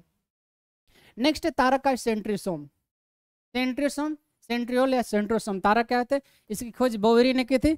ये बावड़ा जो है कि तारा की खोज कर रहा था। ये तारा उतार लाता था अपने लिए। अपने चाहने वालों के लिए तारा उतार कर लाता था। कहता था, हम तारा उतार कर लाएँगे। तो इसकी खोज बावड़े ने किया था। बावड़े प्रकार का था यह। केंद्र के पास होता है ये। तारक का है। इसका मुख्य कार्य है कोशिका विभाजन के में सहायता करना। कोशिका विभाजन वो करती है जिस प्रकार से एक कोशिका कई सारी कोशिकाओं में बढ़ती है इसे, कोशिका भाजन बोलते हैं, और कोशिका भाजन में सहायता कौन करता है? सेंट्रियोसम करता है, तारक काय करता है। तो एक केंद्र के पास होता है, केवल जंतु कोशिकाओं में ही पाया जाता है, क्योंकि इसका काम सिर्फ़ कोशिका भाजन नहीं करता है यह भी हमने पढ़ा सेलिया और फैलेजिला। तो सेलिया और फैलेजिला के निर्माण में भी ये सहायता करता है। ये पक्षमाव और कश्याप यानी कि सेलिया और फैलेजिला के निर्माण में भी भाग लेता है। तो मुख्य कार्य इसका दो है, एक कोशिका विभाजन में सहायता करना और एक सेलिया फैलेजिला के निर्माण में भाग लेना। दो कार्य हैं। ये सिर्फ़ जंतु कोशिकाओं में मिलता है। जंतु कोशिकाओं में मिलता है, पादप कोशिकाओं में नहीं मिलता है। क्यों नहीं मिलता है? क्योंकि सिलिया और फैलेजिला ये कॉन्सेप्ट सिर्फ़ प्रोकैरियोट्स के लिए है। यूकैरियोट्स के लिए नहीं है। जब यूकैरियोट्स के लिए नहीं है तो यूकैरियोट्स के लिए नहीं तो पादप कोशिका में इसका कोई काम नहीं है। सिर्फ़ जंतु कोशिका में काम है। जंतु में भी सिर्फ़ प्रोकैरियोट्स में। तो इसलिए इसका निर्माण है। इसका निर्माण ट्यूबलिन प्रोटीन नलिकाओं से होता है। क्यों होता है? क्योंकि पक्षावा, सिलियर फैलेजिला का भी निर्माण इसी से होता है। अभी हम लोग ने देखा, आप ये देख सकते हैं इसको। रिक्तिका, वैक्यूल्स, इसकी खोज स्प्लेन जानी ने की थी। रिक्तिका, आप घर पे आते हैं तो आपका पैकेट जो होता है, पैकेट में कितने पैसे हैं इत्यादि जो होता है, आपकी बीवी पैसा चेक करती है, ज़रूर चेक करती है। यानी कि आपका जान जो होता है, जान जो है, क्या करती है? रिक्तिका आपका पैकेट सेल करती है तो रिक्तिका की खोज किसने करी थी? जानी ने स्प्लेन जानी ने इसकी खोज करी थी। इसे कोशिका का रिक्त भाग होता है, एम्प्टी भाग होता है, ये खाली जगह होता है, कोशिका में वह रिक्त भाग, जहाँ पर भोजन का संचय होता है, उसी को रिक्तिका बोलते हैं वैक्यूल्स बोलते हैं। इसे पॉकेट ऑफ़ सेल बोलते हैं। सॉरी, ये सेल है, काल नहीं है, सेल। पैकेट ऑफ़ सेल बोलते हैं। पैकेट ऑफ़ सेल को बोलते हैं क्योंकि पैकेट में क्या रखते हैं? पैसे रखते हैं ताकि बाहर जाकर भूख लगे तो कुछ भोजन खरीद के खा लें। इसलिए पैकेट में पैसे रखते हैं। यहाँ पर ये खाली क्यों होता है? क्योंकि इसमें भोजन का संचय किया किया जाता है ताकि कोशिकाओं को हर मिनट भोजन की ज़रूरत पड़ेगी। हम हम तो हर मिनट भोजन खाएँगे नहीं, लेकिन कोशिकाओं को तो ज़रूरत पड़ेगी। इसलिए पॉकेट ऑफ़ सेल कहते हैं, यहाँ पर भोजन का संग्रहण होता है। पादप कोशिका में बड़ी संख्या में, पादप बड़े आकार के होते हैं, इनकी कोशिकाएँ बड़ी संख्या में होती है तो रिक्तिका भी बड़ी संख्या में होती है। केंद्रीय भाग में और जंतु कोशिकाओं में छोटी होती है। जंतु छोटे आकार के होते हैं, तुमने कोशिका भी छोटी आकार की होती है तो रिक्तिका भी छोटे आकार की होती है। लेकिन जो छोटी आकार की होती है, संख्या में अधिक होती है और जो बड़े आकार की होती है, संख्या में कम होती है। पीछे भी स्लाइड में इसको अभी दिखाए थे हम आपको। यहाँ भोजन का संचय होता है। अभी हमने बताया भोजन का संचय होता है। लेकिन भोजन का संचय किस रूप में होता है? हम भोजन में मुख्य रूप से सीपीएल खाते हैं। सीपीएल मतलब कार्बोहाइड्रेट प्रोटीन और लिपिड कार्बोहाइड्रेट पहले ग्लूकोज में बदलता फिर ग्लाइकोजन बदलता इसी को पाचन बोलते हैं। प्रोटीन पहले पेप्टोन्स बदलता है, फिर अमीनो एसिड में बोलता है, इसी को पाचन बोलते हैं। और लिपिड पहले फैटी एसिड में बदलता है, उसके बाद ग्लिसरॉल में बदलता है, इसी को पाचन बोलते हैं। तो भोजन का संचय किस रूप में होगा? जंतुओं में ग्लाइकोजन के रूप में। जंतु हम लोग क्या पीते हैं? ग्लूकोज पीते हैं। तो ग्लूकोज यानी कि जंतुओं में, ग्लाइकोजन के रूप में, सर्वाधिक कहाँ होगा? यकृत में। वैसे तो कोशिका पूरे शरीर, कोशिका से ही मिलकर बनी है। तो पूरे शरीर में इसका होगा संचय, लेकिन सबसे अधिक कहाँ होगा? यकृत में, लिवर में होगा। पादप में यही चीज़ स्टार्च के रूप में होता है। पौधों के पास जाएँगे तो टार्च लेकर आपको जाना पड़ेगा, क्योंकि पौधों के जड़ों में कीड़े मकोड़े हो सकते हैं। इसलिए पौधों के पास अब जाएँगे तो टार्च लेकर जाना पड़ेगा तो पौधों में स्टार्च के रूप में होता है। सर्वाधिक कहाँ होता है? जड़ों में होता है। बैक्टीरिया मतलब जीवाणु, बैक्टीरिया में काइटिन के रूप में होता है। काइटिन क्या होता है? बैक्टीरिया का जो बाहरी लेयर होता है, जो कैप्सिड प्रकार का होता है, पीछे हमने बताया था तो वो काइटिन से बना बना होता है और काइटिन के रूप में ही संचय होता है। क्योंकि उनके पास तो कुछ होता नहीं बैक्टीरिया में, वो खुद प्रोकैरियोट्स प्रकार के होते हैं ना। तो बाहरी परत में ही काइटिन के रूप में होता है। केंद्रक, न्यूक्लियस इसकी खोज रॉबर्ट ब्राउन ने करी थी। केंद्रक की खोज रॉबर्ट ब्राउन ने करी थी। आर्किड पौधों की जड़ों में की कोशिकाओं में इनकी खोज हुई थी। ये सबसे बड़ा कोशिकांग है। सबसे बड़ा। हमने बताया था कि सबसे बड़ा कोशिकांग, कोशिका का सबसे बड़ा अंग केंद्रक होता है और दूसरा सबसे बड़ा अंग माइट्रोकांड्रिया होता है, जहाँ श्वसन होता है माइट्रोकांड्रिया में। एक कोशिकांग सबसे बड़ा है, अन्य कोशिकांगों कोशिकी क्रियाओं पर नियंत्रण रखता है। इसीलिए इसे ब्रेन ऑफ़ सेल बोलते हैं। हमारे शरीर में जो भी क्रियाएँ होती हैं, सबका नियंत्रण मस्तिष्क करता है, ब्रेन करता है। ब्रेन सिस्टम है नर्वस सिस्टम में पढ़ेंगे इस बात को। तो सभी क्रियाओं का नियंत्रण कौन करता है? ब्रेन करता है और कोशिका में सभी क्रियाओं का निर्माण कौन करता है? केंद्रक करता है। इसलिए केंद्रक को कोशिका का दिमाग, ब्रेन ऑफ़ सेल्स बोलते हैं। इस सामान्यतः एक कोशिका में लगभग एक ही गोलाकार अथवा अंडाकार केंद्रक होता है। केंद्रक लगभग गोलाकार अथवा अंडाकार होता है, हमने अभी बताया, पीछे बताया था। जो अंडे के हिसाब से आपको अंडा के एग्ज़ाम्पल देकर आपको समझाया था हमने लेकिन आरबीसी इसके कुछ अपवाद भी हैं। सामान्यतः, सामान्य नियम क्या है? सामान्य नियम यह है कि गोलाकार अथवा अंडाकार एक एक ही होगी, केंद्रक। लेकिन इसके कुछ अपवाद में जैसे आरबीसी आरबीसी में केंद्रक होता ही नहीं है। तो यह अपवाद हो गया। डब्ल्यूबीसी डब्ल्यूबीसी में केंद्रक होता है, लेकिन कई लोग पालियों में बटा होता है। अस्थि मज्जा की कोशिकाओं में। दरअसल ब्लड का निर्माण हम लोग अस्थि ब्लड सर्कुलेटरी सिस्टम पढ़ेंगे तो वहाँ देखेंगे कि ब्लड का निर्माण जो होता है हड्डियों में होता है। हड्डियों के बीच खाली स्थान होता है जिसे अस्थि मज्जा बोन मैरो बोलते हैं। और इसी बोन मैरो में ब्लड का निर्माण होता है। तो अस्थि मज्जा की कोशिकाएँ जो होती है जो रेखित और रेखित पेशियों की जो कोशिकाएँ होती हैं वहाँ एक से अधिक केंद्रक मिलते हैं। ये त, ये तीनों आप अपवाद के तौर पर याद करेंगे। केंद्रक में आनुवंशिक पदार्थ होता है। आनुवंशिक पदार्थ क्या होता है? डीएनए और RNA.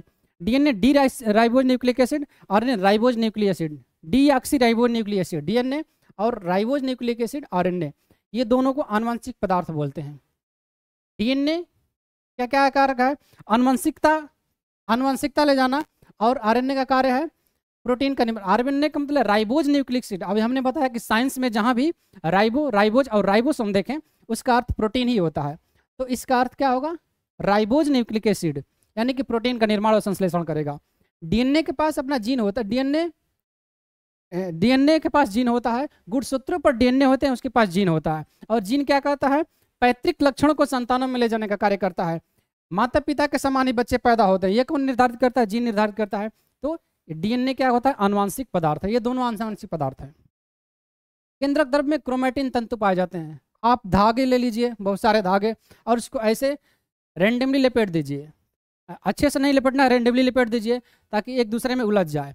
और जब एक दूसरे में उलझेगा, जिस प्रकार का आपको इस प्रकार से दिखाई देगा, इस प्रकार से जो दिखाई देगा धागा तो उसी को बोलते हैं क्रोमेटिन तंतु। ये क्रोमेटिन तंतु है। डीएनए व प्रोटीन से बने होते हैं। एक तंतु कोशिका विभाजन के समय गुणसूत्रों के रूप में दिखाई देते हैं। इसकी खोज हाफ़ मिंस्टर ने करी थी। इसकी खोज हाफ़ मिंस्टर ने करते, एक क्रोमेटिन तंतु होते हैं जो जो धागे के समान उलझे हुए होते हैं। यही कोशिका, जब कोशिका का विभाजन होता है, कोशिका विभाजित होती है तो यही गुणसूत्र के रूप में दिखाई देने लगते हैं और जोड़ी में आ जाते हैं। गुणसूत्र ऐसा होता है? ये जोड़ी में आ जाते हैं, यही क्रोमेटिन तंतु, धागे के समान जो क्रोमेटिन तंतु हैं, यही कोशिका विभाजन के समय जोड़ी में आ जाते हैं गुणसूत्र के रूप में दिखाई देने लगते हैं। गुणसूत्र के देते हैं इसकी खोज हाफ़ मिस्टर ने करी थी। ये हाफ़ प्रकार, ये मिस्टर हाफ़ था ससुरा। हाफ़ था, इसीलिए ये क्या होते हैं? गुणसूत्र हमेशा जोड़ी में होते हैं ना? जोड़ी मतलब डबल में। और ये क्या था? हाफ़। ये हाफ़ था मतलब आधा था। जब हाफ़ था तो सोच रहा था कि कुछ ऐसी चीज़ हो जो जोड़ी में हो। इसे तो मिस्टर हाफ़ ने जोड़ी वाले, यानी कि गुड़सूत्र की खोज करी थी। यहाँ से याद कर सकते हैं। गुड़सूत्र हमेशा जोड़ी में ही होते हैं।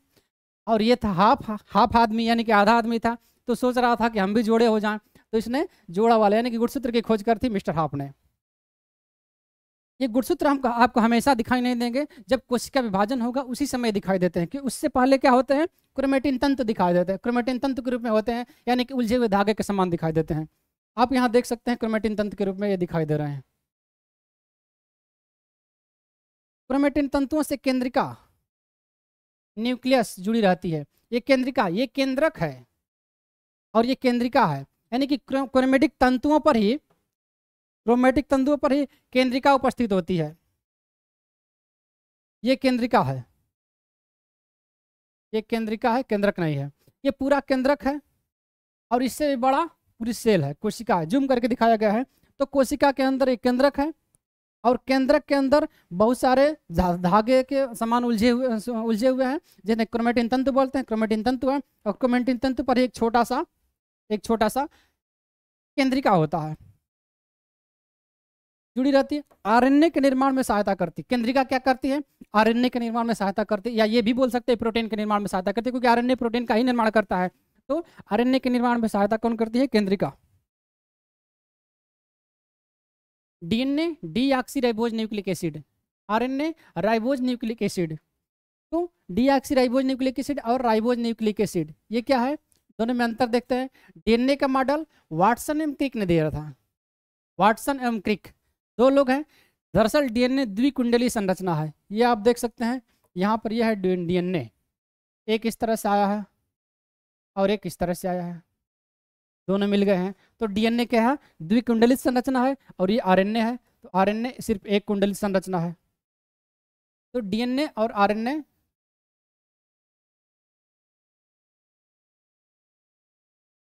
डीएनए और आरएनए। तो देखते हैं, डीएनए द्विकुंडलित संरचना है, इसके खोज दो लोगों ने मिलकर करी थी। आरएनए सिर्फ़ एक कुंडली संरचना है तो इसकी खोज फेडरिक माइजर ने करी थी। एक लोगों ने करी थी। डीएनए द्विकुंडली संरचना है, आरएनए एक कुंडली संरचना है। डीएनए का मुख्य कार्य केंद्रक तथा माइट्रोकांड्रिया में पाया जाता है। डीएनए के मुख्य रूप से केंद्रक के पास होता है माइट्रोकांड्रिया हमने बताया कि डीएनए और आरएनए कहाँ होता है? केंद्रक में होता है। ये अनुवांशिक पदार्थ है डीएनए और आरएनए, और अनुवांशिक पदार्थ कहाँ होते हैं? केंद्रक में होते हैं। लेकिन माइट्रोकांड्रिया जब हम लोग पढ़ते हैं तो वहाँ भी देखे थे कि माइट्रोकांड्रिया का स्वायत्त कोशिकांग अर्ध स्वायत्त कोशिकांग क्यों बोलते थे? क्योंकि उसके पास खुद का डीएनए और आरएनए होता था, इसीलिए बोलते थे। तो उसके पास माइट्रोकांड्रिया के पास भी खुद का डीएनए और आरएनए होता है। तो मुख्य रूप से केंद्र के पास था माइट्रोकांड्रिया के पास ये डीएनए होता है। आरएनए भी मुख्य रूप से केंद्र के पास और कोशिका द्रव्य में होता है और माइट्रोकांड्रिया के पास भी होता है। डीएनए के स्ट्रक्चर में हाइड्रोजन बांड होता है। दोनों के स्ट्रक्चर में हाइड्रोजन बांड ही होता है। आरएनए के स्ट्रक्चर में भी डीएनए के स्ट्रक्चर दोनों में हाइड्रोजन बांड होता है। ये आप देख रहे हैं, ये हाइड्रोजन बांड है। हाइड्रोजन बांड किस प्रकार का होता है? ए, डबल बांड, टी और सी, ट्रिपल बांड, जी होता है। A, double bond, T, C, triple bond, G. Adenine, thymine, cytosine, guanine. Adenine thymine cytosine और ग्वाइनिन ये इनका फुल फॉर्म है। और आरएनए के स्ट्रक्चर में भी हाइड्रोजन बांड होता है। ए डबल बांड यू और सी ट्रिपल बांड जी होता है। सी ट्रिपल बांड जी दोनों में होता है। सी ट्रिपल बांड जी दोनों में होता है। सी का मतलब साइटिन साइटोसिन और जी मतलब ग्वाइनिन लेकिन डीएनए में ए डबल बांड टी होता है और आरएनए में ए डबल बांड यू होता है। यानी कि टी की जगह क्या आ जाता है? यू आ जाता है। ए का मतलब एडोसिन एडोसिन है टी का मतलब थाइमिन है, और ए यू का मतलब यूरेसिल है। और यही क्वेश्चन के रूप में बनता है कि डीएनए के स्ट्रक्चर में और आरएनए के स्ट्रक्चर में मुख्य रूप से किस चीज़ का अंतर है। तो आप बताएँगे थाइमिन की जगह पर यूरेसिल आ जाता है। डीएनए की संरचना तीन प्रकार के पदार्थों से होती है और आरएनए की संरचना तीन प्रकार की होती है। दोनों में अंतर ध्यान देंगे। डीएनए तीन प्रकार के पदार्थों से मिलकर बना है और आरएनए तीन प्रकार का होता है। डीएनए की संरचना तीन प्रकार के पदार्थों से मिलकर बनी होती है। एक होता है नाइट्रोजनी, क्षार।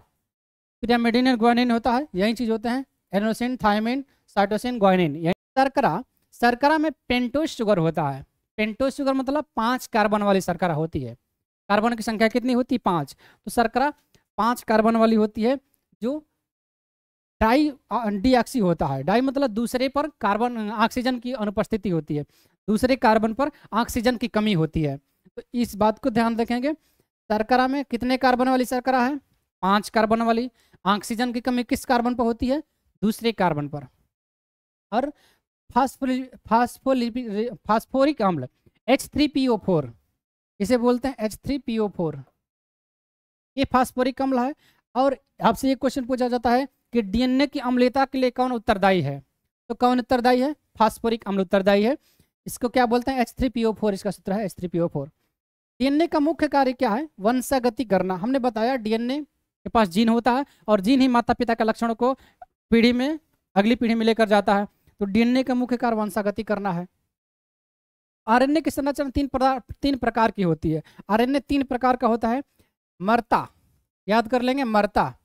मरता मतलब M R N A R R N A T R N A R N A तीन प्रकार का होता है। मरता एन यानी कि M R N A R R N A T R N A M for messenger messenger R N A R for ribosomal ribosomal R N A और T for transfer transfer R N A messenger RNA क्या करता है जब protein की कमी हो जाती है तो मैसेज देता है किसको मैसेज देगा आर आरएनए को कि प्रोटीन बनाओ क्योंकि आर क्या है राइबोसोमल है राइबो का मतलब प्रोटीन तो राइबोसोमल आर अथवा आर आर क्या करेगा प्रोटीन का निर्माण शुरू कर देगा और जब निर्माण हो जाएगा तो प्रोटीन को जहाँ ज़रूरत होगी उन कोशिकाओं तक लेकर कौन जाएगा कोशिका के अंगों तक लेकर कौन जाएगा? टी आर एन यानी कि ट्रांसफ़र आर लेकर जाएगा। आर का मुख्य कार्य क्या है? प्रोटीन का संश्लेषण करना, क्योंकि आरएनए का मतलब ये होता है राइबोज। ये डी और आरएनए इसका मॉडल देख सकते हैं आप। गुणसूत्र क्रोमोसोम सिगिज की खोज हाफ़ मिंस्टर ने करी थी। गुणसूत्र हमेशा जोड़ी में होते हैं, और हाफ़ मिनिस्टर हाफ़ था तो हाफ़ था तो खुद को जोड़ी बनाने की सोच रहा था। तो इसलिए हाफ़ मिनिस्टर ने गुणसूत्र की खोज करी थी। ये अनुवंशिकता के वाहक होते हैं। गुणसूत्र क्या होते हैं? अनुवंशिकता के वाहक होते हैं। इस पर जीन लगे होते हैं। जीन। ये भूत वाले जीन नहीं है, वो जीन अलग होते हैं। ये लक्षणों को पीढ़ी दर पीढ़ी ले जाने का कार्य करते हैं जीन। तो अनुवंशकता के बात होते हैं। गुणसूत्रों पर ही जीन लगे रह, जीन पाए जाते हैं, जो कि अनुवंशकता की इकाई अनुवंशकता की इकाई क्या क्यों है? क्योंकि एक जीन सिर्फ़ एक ही लक्षण को पैतृक में लेकर जाता है। यानी कि माता पिता के लक्षण को पैतृक संतानों में कौन लेकर जाता है? जीन लेकर जाता है। और एक जीन सिर्फ़ एक ही लक्षण को लेकर जाता है, अधिक लक्षण को लेकर नहीं जा सकता है। इसलिए जीन ज़्यादा होते हैं, लाखों की संख्या में होते हैं। गुणसूत्र क्रोमोसोम्स, दो प्रकार का होता है गुणसूत्र एक होता है आटोसोम्स कायिक गुणसूत्र एक होता है अल्लोसोम्स, लिंग गुणसूत्र कायिक गुणसूत्र मतलब जिससे काया मतलब होता है शरीर, जिससे पूरा शरीर का निर्माण हुआ होता है। काया और लिंग गुणसूत्र जिससे लिंग का निर्माण होता है। फीमेल है कि मेल मेल है इस प्रकार से।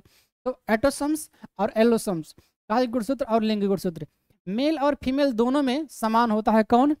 आटोसम्स आटो मतलब स्वतः होता है नहीं समान होता है। यानी कायिक गुणसूत्र, मेल और फीमेल दोनों की शरीर तो एक ही जैसा होता है। अंतर क्या होता है? लिंग का अंतर होता है। तो इसलिए कायिक गुणसूत्र मेल और फीमेल दोनों में समान होता है और लिंग गुणसूत्र मेल में अलग होता है फीमेल में अलग होता है। मेल में एक्स वाई से डिनोट करते हैं इसको और फीमेल में एक्स एक्स से डिनोट करते हैं। फीमेल में X X X X female में एक्स एक्स से डिनोट करते हैं और मेल में एक्स वाई से डिनोट करते हैं। मेल में एक्स और वाई दोनों अलग अलग है ना? तो इसे विषम बोलेंगे। विषम युग्म की। युग्म की क्यों? युग, युग्मक का मतलब होता है जोड़ा। और हमने बताया गुणसूत्र हमेशा जोड़े में होते हैं। इसलिए इसकी खोज हाफ़ मिनिस्टर ने करी थी। तो विषम युग्म की मेल क्या होता है? विषम युग्म की होता है, क्योंकि एक एक्स होता है, एक वाई फीमेल में दोनों एक्स होते हैं, दोनों एक्स इसलिए समान है तो सम युग्म की फीमेल को बोलते हैं। लिंग निर्धारण के लिए कौन उत्तरदायी है? विषम युग्म की उत्तरदायी है। फीमेल में तो दोनों एक्स एक्स ही है। तो चाहे एक्स ये वाला एक्स जाए, चाहे ये वाला एक्स जाए कुछ फ़र्क नहीं पड़ता कि दोनों एक्स ही है। लेकिन मेल में फ़र्क पड़ता है, क्योंकि एक्स है, एक वाई है। तो इसलिए लिंग निर्धारण कौन करता है? लिंग निर्धारण कौन करता है? विषम युग्मिक करत करता है। विषम युग्मी यानी कि मेल करता है। मेल नहीं बोल सकते हैं क्योंकि विषम युग्म पक्षियों में तो मादा होती है, विषम युग्मी हम बाकी जंतु में, यानी कि स्तनधारियों में और हम लोगों में विषम युग्मी कौन होता है? मेल होता है, नर होता है, लेकिन पक्षियों में मादा होती है, अभी बताएँगे। लिंग निर्धारण किसके द्वारा होता है? विषम युग्म के द्वारा होता है, जैसे मनुष्य में। परंतु सरीसृप और पक्षी यहीं आ गया। सरीसृप और पक्षी रेप्टाइल सरीसृप में रेंग कर चलने वाले चलने वाले प्राणी, जैसे मगरमच्छ हो गया, जैसे सर्प हो गया, जैसे छिपकली हो गई ये सब सरीसृप में आ गए। और पक्षी जो उड़ने वाले होते हैं तो सरीसृप और पक्षी, ये में विषम युग्म की मादा होती है, नर नहीं होता। हमारे में क्या होता है? विषम युग्म की कौन होता है? मेल होता है, नर होता है, लेकिन इनमें सरीसृप और पक्षी में विषम युग्म कौन होती है? मादा होती है। इसलिए यहाँ पर लिंग निर्धारण कौन करेगा? मादा करेगी। लिंग निर्धारण कौन करता है? विषम युग्म करता है, और यहाँ विषम युग्म मादा होती है, इसलिए मादा निर्धारण करेगी। ये आप देख सकते हैं। गुणसूत्र और डीएनए को देख सकते हैं। मध्य केंद्र की ये गुणसूत्र चार प्रकार के हो सकते हैं आपको। सेंट्रोसोम के आधार पर गुणसूत्र क्या सेंट्रोसोम क्या होता है? ये दो लीफ, दोनों जो लीफ हैं आपको, ये एक गुणसूत्र ये हो गया और एक गुणसूत्र ये हो गया। ये हमने बताया गुणसूत्र जोड़ी में हमेशा होते हैं, इसीलिए इसकी खोज हाफ़ मिनिस्टर ने करी थी तो गुणसूत्र जहाँ, दोनों जहाँ से जुड़ते हैं ये दोनों, जोड़ी में होते हैं तो जुड़ेंगे तो जहाँ से जुड़ते हैं उसी को सेंट्रियोसोम बोलते हैं सेंट्रोमियर बोलते हैं, सेंट्रोमियर। तो सेंट्रोमियर के आधार पर गुणसूत्र चार प्रकार के हो सकते हैं, एक मध्य केंद्र की जिनका पूरे बिल्कुल मध्य में सेंट्रोमियर होता है, इनका मध्य में सेंट्रोमियर है, और एक उप मध्य केंद्र की, यानी कि मध्य से थोड़ी सी दूरी पर होता है, बिल्कुल मध्य में ना हटकर, बिल्कुल मध्य में ना होकर थोड़ी सी दूरी पर होता है। यानी कि मध्य यहाँ होगा तो ये यहाँ होना चाहिए अथवा यहाँ होना चाहिए। तो यहाँ पर है ही, देख रहे हैं आप। तो सेंट्रोमियर यहाँ पर है, इसे उप उप मध्य केंद्र की बोलेंगे। यानी कि उप मध्य, यानी कि मध्य से थोड़ा सा हटकर, उप। एक बोलेंगे केंद्र की अग्र केंद्र की। अग्र मतलब अगले भाग पर। यानी कि बिल्कुल एक सिरे में। यानी कि सेंट्रोमियर क्या है? एक लिफ ये है। और एक लिफ है, दोनों जोड़ी में है, लेकिन सेंट्रोमियर यहाँ बीच में ना होकर यहाँ एक साइड पर है, बिल्कुल किनारे पर है। तो इसे क्या बोलेंगे? अग्र केंद्र की। और बिल्कुल किनारे पर ना होकर थोड़ा सा हट जाए, बिल्कुल किनारे से थोड़ा सा हट जाए, जैसे ये हट गया है, बिल्कुल किनारे से थोड़ा सा हट जाए तो उसे बोलेंगे उप अंत केंद्र की अग्र बिंदु या उप अंत केंद्र की। इस सेंटर में तो इस प्रकार से सेंट्रोमियर के स्थान पर चार प्रकार से गुणसूत्र बता सकते हैं। मध्य केंद्र की, उप मध्य केंद्र की, अग्र केंद्र की, उप अग्र केंद्र की, ये चार प्रकार से। कोशिका विभाजन नेक्स्ट है। और आज का लास्ट पॉइंट है, कोशिका विभाजन सेल डिवीज़न दो प्रकार का होता है। एक होता है समसूत्री विभाजन मीटोसिस और एक होता है अर्धसूत्री विभाजन मियोसिस समसूत्री, सूत्री मतलब गुणसूत्र, और सम मतलब बराबर, जहाँ पर गुणसूत्रों की संख्या बराबर हो। अर्धसूत्री सूत्री। मतलब गुणसूत्र और अर्ध मतलब आधा, जहाँ पर गुणसूत्रों की संख्या आधा हो जाए। तो बराबर, सम मतलब बराबर और मेल और फीमेल दोनों में बराबर कौन होता है? गुणसूत्र दो प्रकार के होते हैं ना? क्रोमोसोम्स, गुणसूत्र दो प्रकार के, ऑटोसम्स और क्रोमोसोम्स। ऑटोसम्स मतलब कायिक गुणसूत्र और एलोसम्स मतलब लिंग गुणसूत्र। तो मेल और फीमेल में दोनों बराबर कौन होते हैं? कायिक गुणसूत्र बराबर होते हैं, यानी कि तो इसका मतलब समसूत्री विभाजन किसमें होगा? ऑटोसम्स क्रोमोसम्स में, अथवा कायिक गुणसूत्र में होगा। और अर्धसूत्री, यानी कि अलग अलग कौन होते हैं? मेल फीमेल में लिंग गुणसूत्र होते हैं, यानी कि काय आलोसम्स। तो अर्धसूत्री विभाजन किसमें होगा? लिंग गुणसूत्र में होगा। तो आपसे ये भी क्वेश्चन बार बार पूछा जाता है कि समसूत्री विभाजन कहाँ होता है? ऑटोसम्स क्रोमोसम्स में होता है, यानी कि कायिक गुणसूत्र में होता है। अर्धसूत्री विभाजन कहाँ होता है? हलोसम्स क्रोमोसम्स में होता है, यानी कि लिंग गुणसूत्र में होता है। सूत्री विभाजन में क्या होता है? एक कोशिका बराबर के दो कोशिकाओं में विभाजित हो जाती है। एक कोशिका दो कोशिकाओं में विभाजित हो जाती है, जिसमें गुणसूत्रों की संख्या समान इसमें चार गुणसूत्र तो इसमें भी चार गुणसूत्र, इसमें भी चार गुणसूत्र, इसमें आठ गुणसूत्र तो इसमें भी आठ, इसमें भी आठ, यानी कि जितने गुणसूत्र होंगे, उतने गुणसूत्र इसमें भी होंगे। यानी कि एक कोशिका जो होता है, बराबर के दो नए कोशिकाओं में विभाजित हो जाती है। अर्धसूत्री में क्या होता है लेकिन इसमें क्या होता है गुणसूत्रों की संख्या समान रहती है। अर्धसूत्री में क्या होता है, इसमें एक कोशिका बराबर के चार कोशिकाओं में बढ़ जाती है। एक कोशिका बराबर के चार कोशिकाओं में बढ़ जाती है, लेकिन गुणसूत्रों की संख्या आधी रह जाती है। इसमें अगर चार गुणसूत्र है तो इन सब में दो दो गुणसूत्र ही सिर्फ़ होंगे। इसमें आठ है तो इसमें चार चार गुणसूत्र ही होंगे। यानी कि गुणसूत्रों की संख्या आधी हो जाती है। ये क्योंकि अर्धसूत्री है तो अर्धसूत्री में क्या होगा? गुणसूत्रों की संख्या आधी हो जाएगी। समसूत्री में क्या होगा? गुणसूत्रों की संख्या समान रहेगी। समसूत्री में एक कोशिका, दो कोशिकाओं में बटेगी और अर्धसूत्री में एक कोशिका, चार कोशिकाओं में बटेगी। इतना आप लोग याद करेंगे। कोशिका चैप्टर खत्म हुआ। नेक्स्ट एपिसोड में देखेंगे नेक्स्ट चैप्टर को। अभी के लिए इतना ही। अगर वीडियो अच्छा लगा है तो चैनल को सब्सक्राइब कर लीजिए, वीडियो को शेयर करें। बहुत बहुत धन्यवाद हमारे चैनल को सब्सक्राइब करें और बेल आइकन दबाएँ।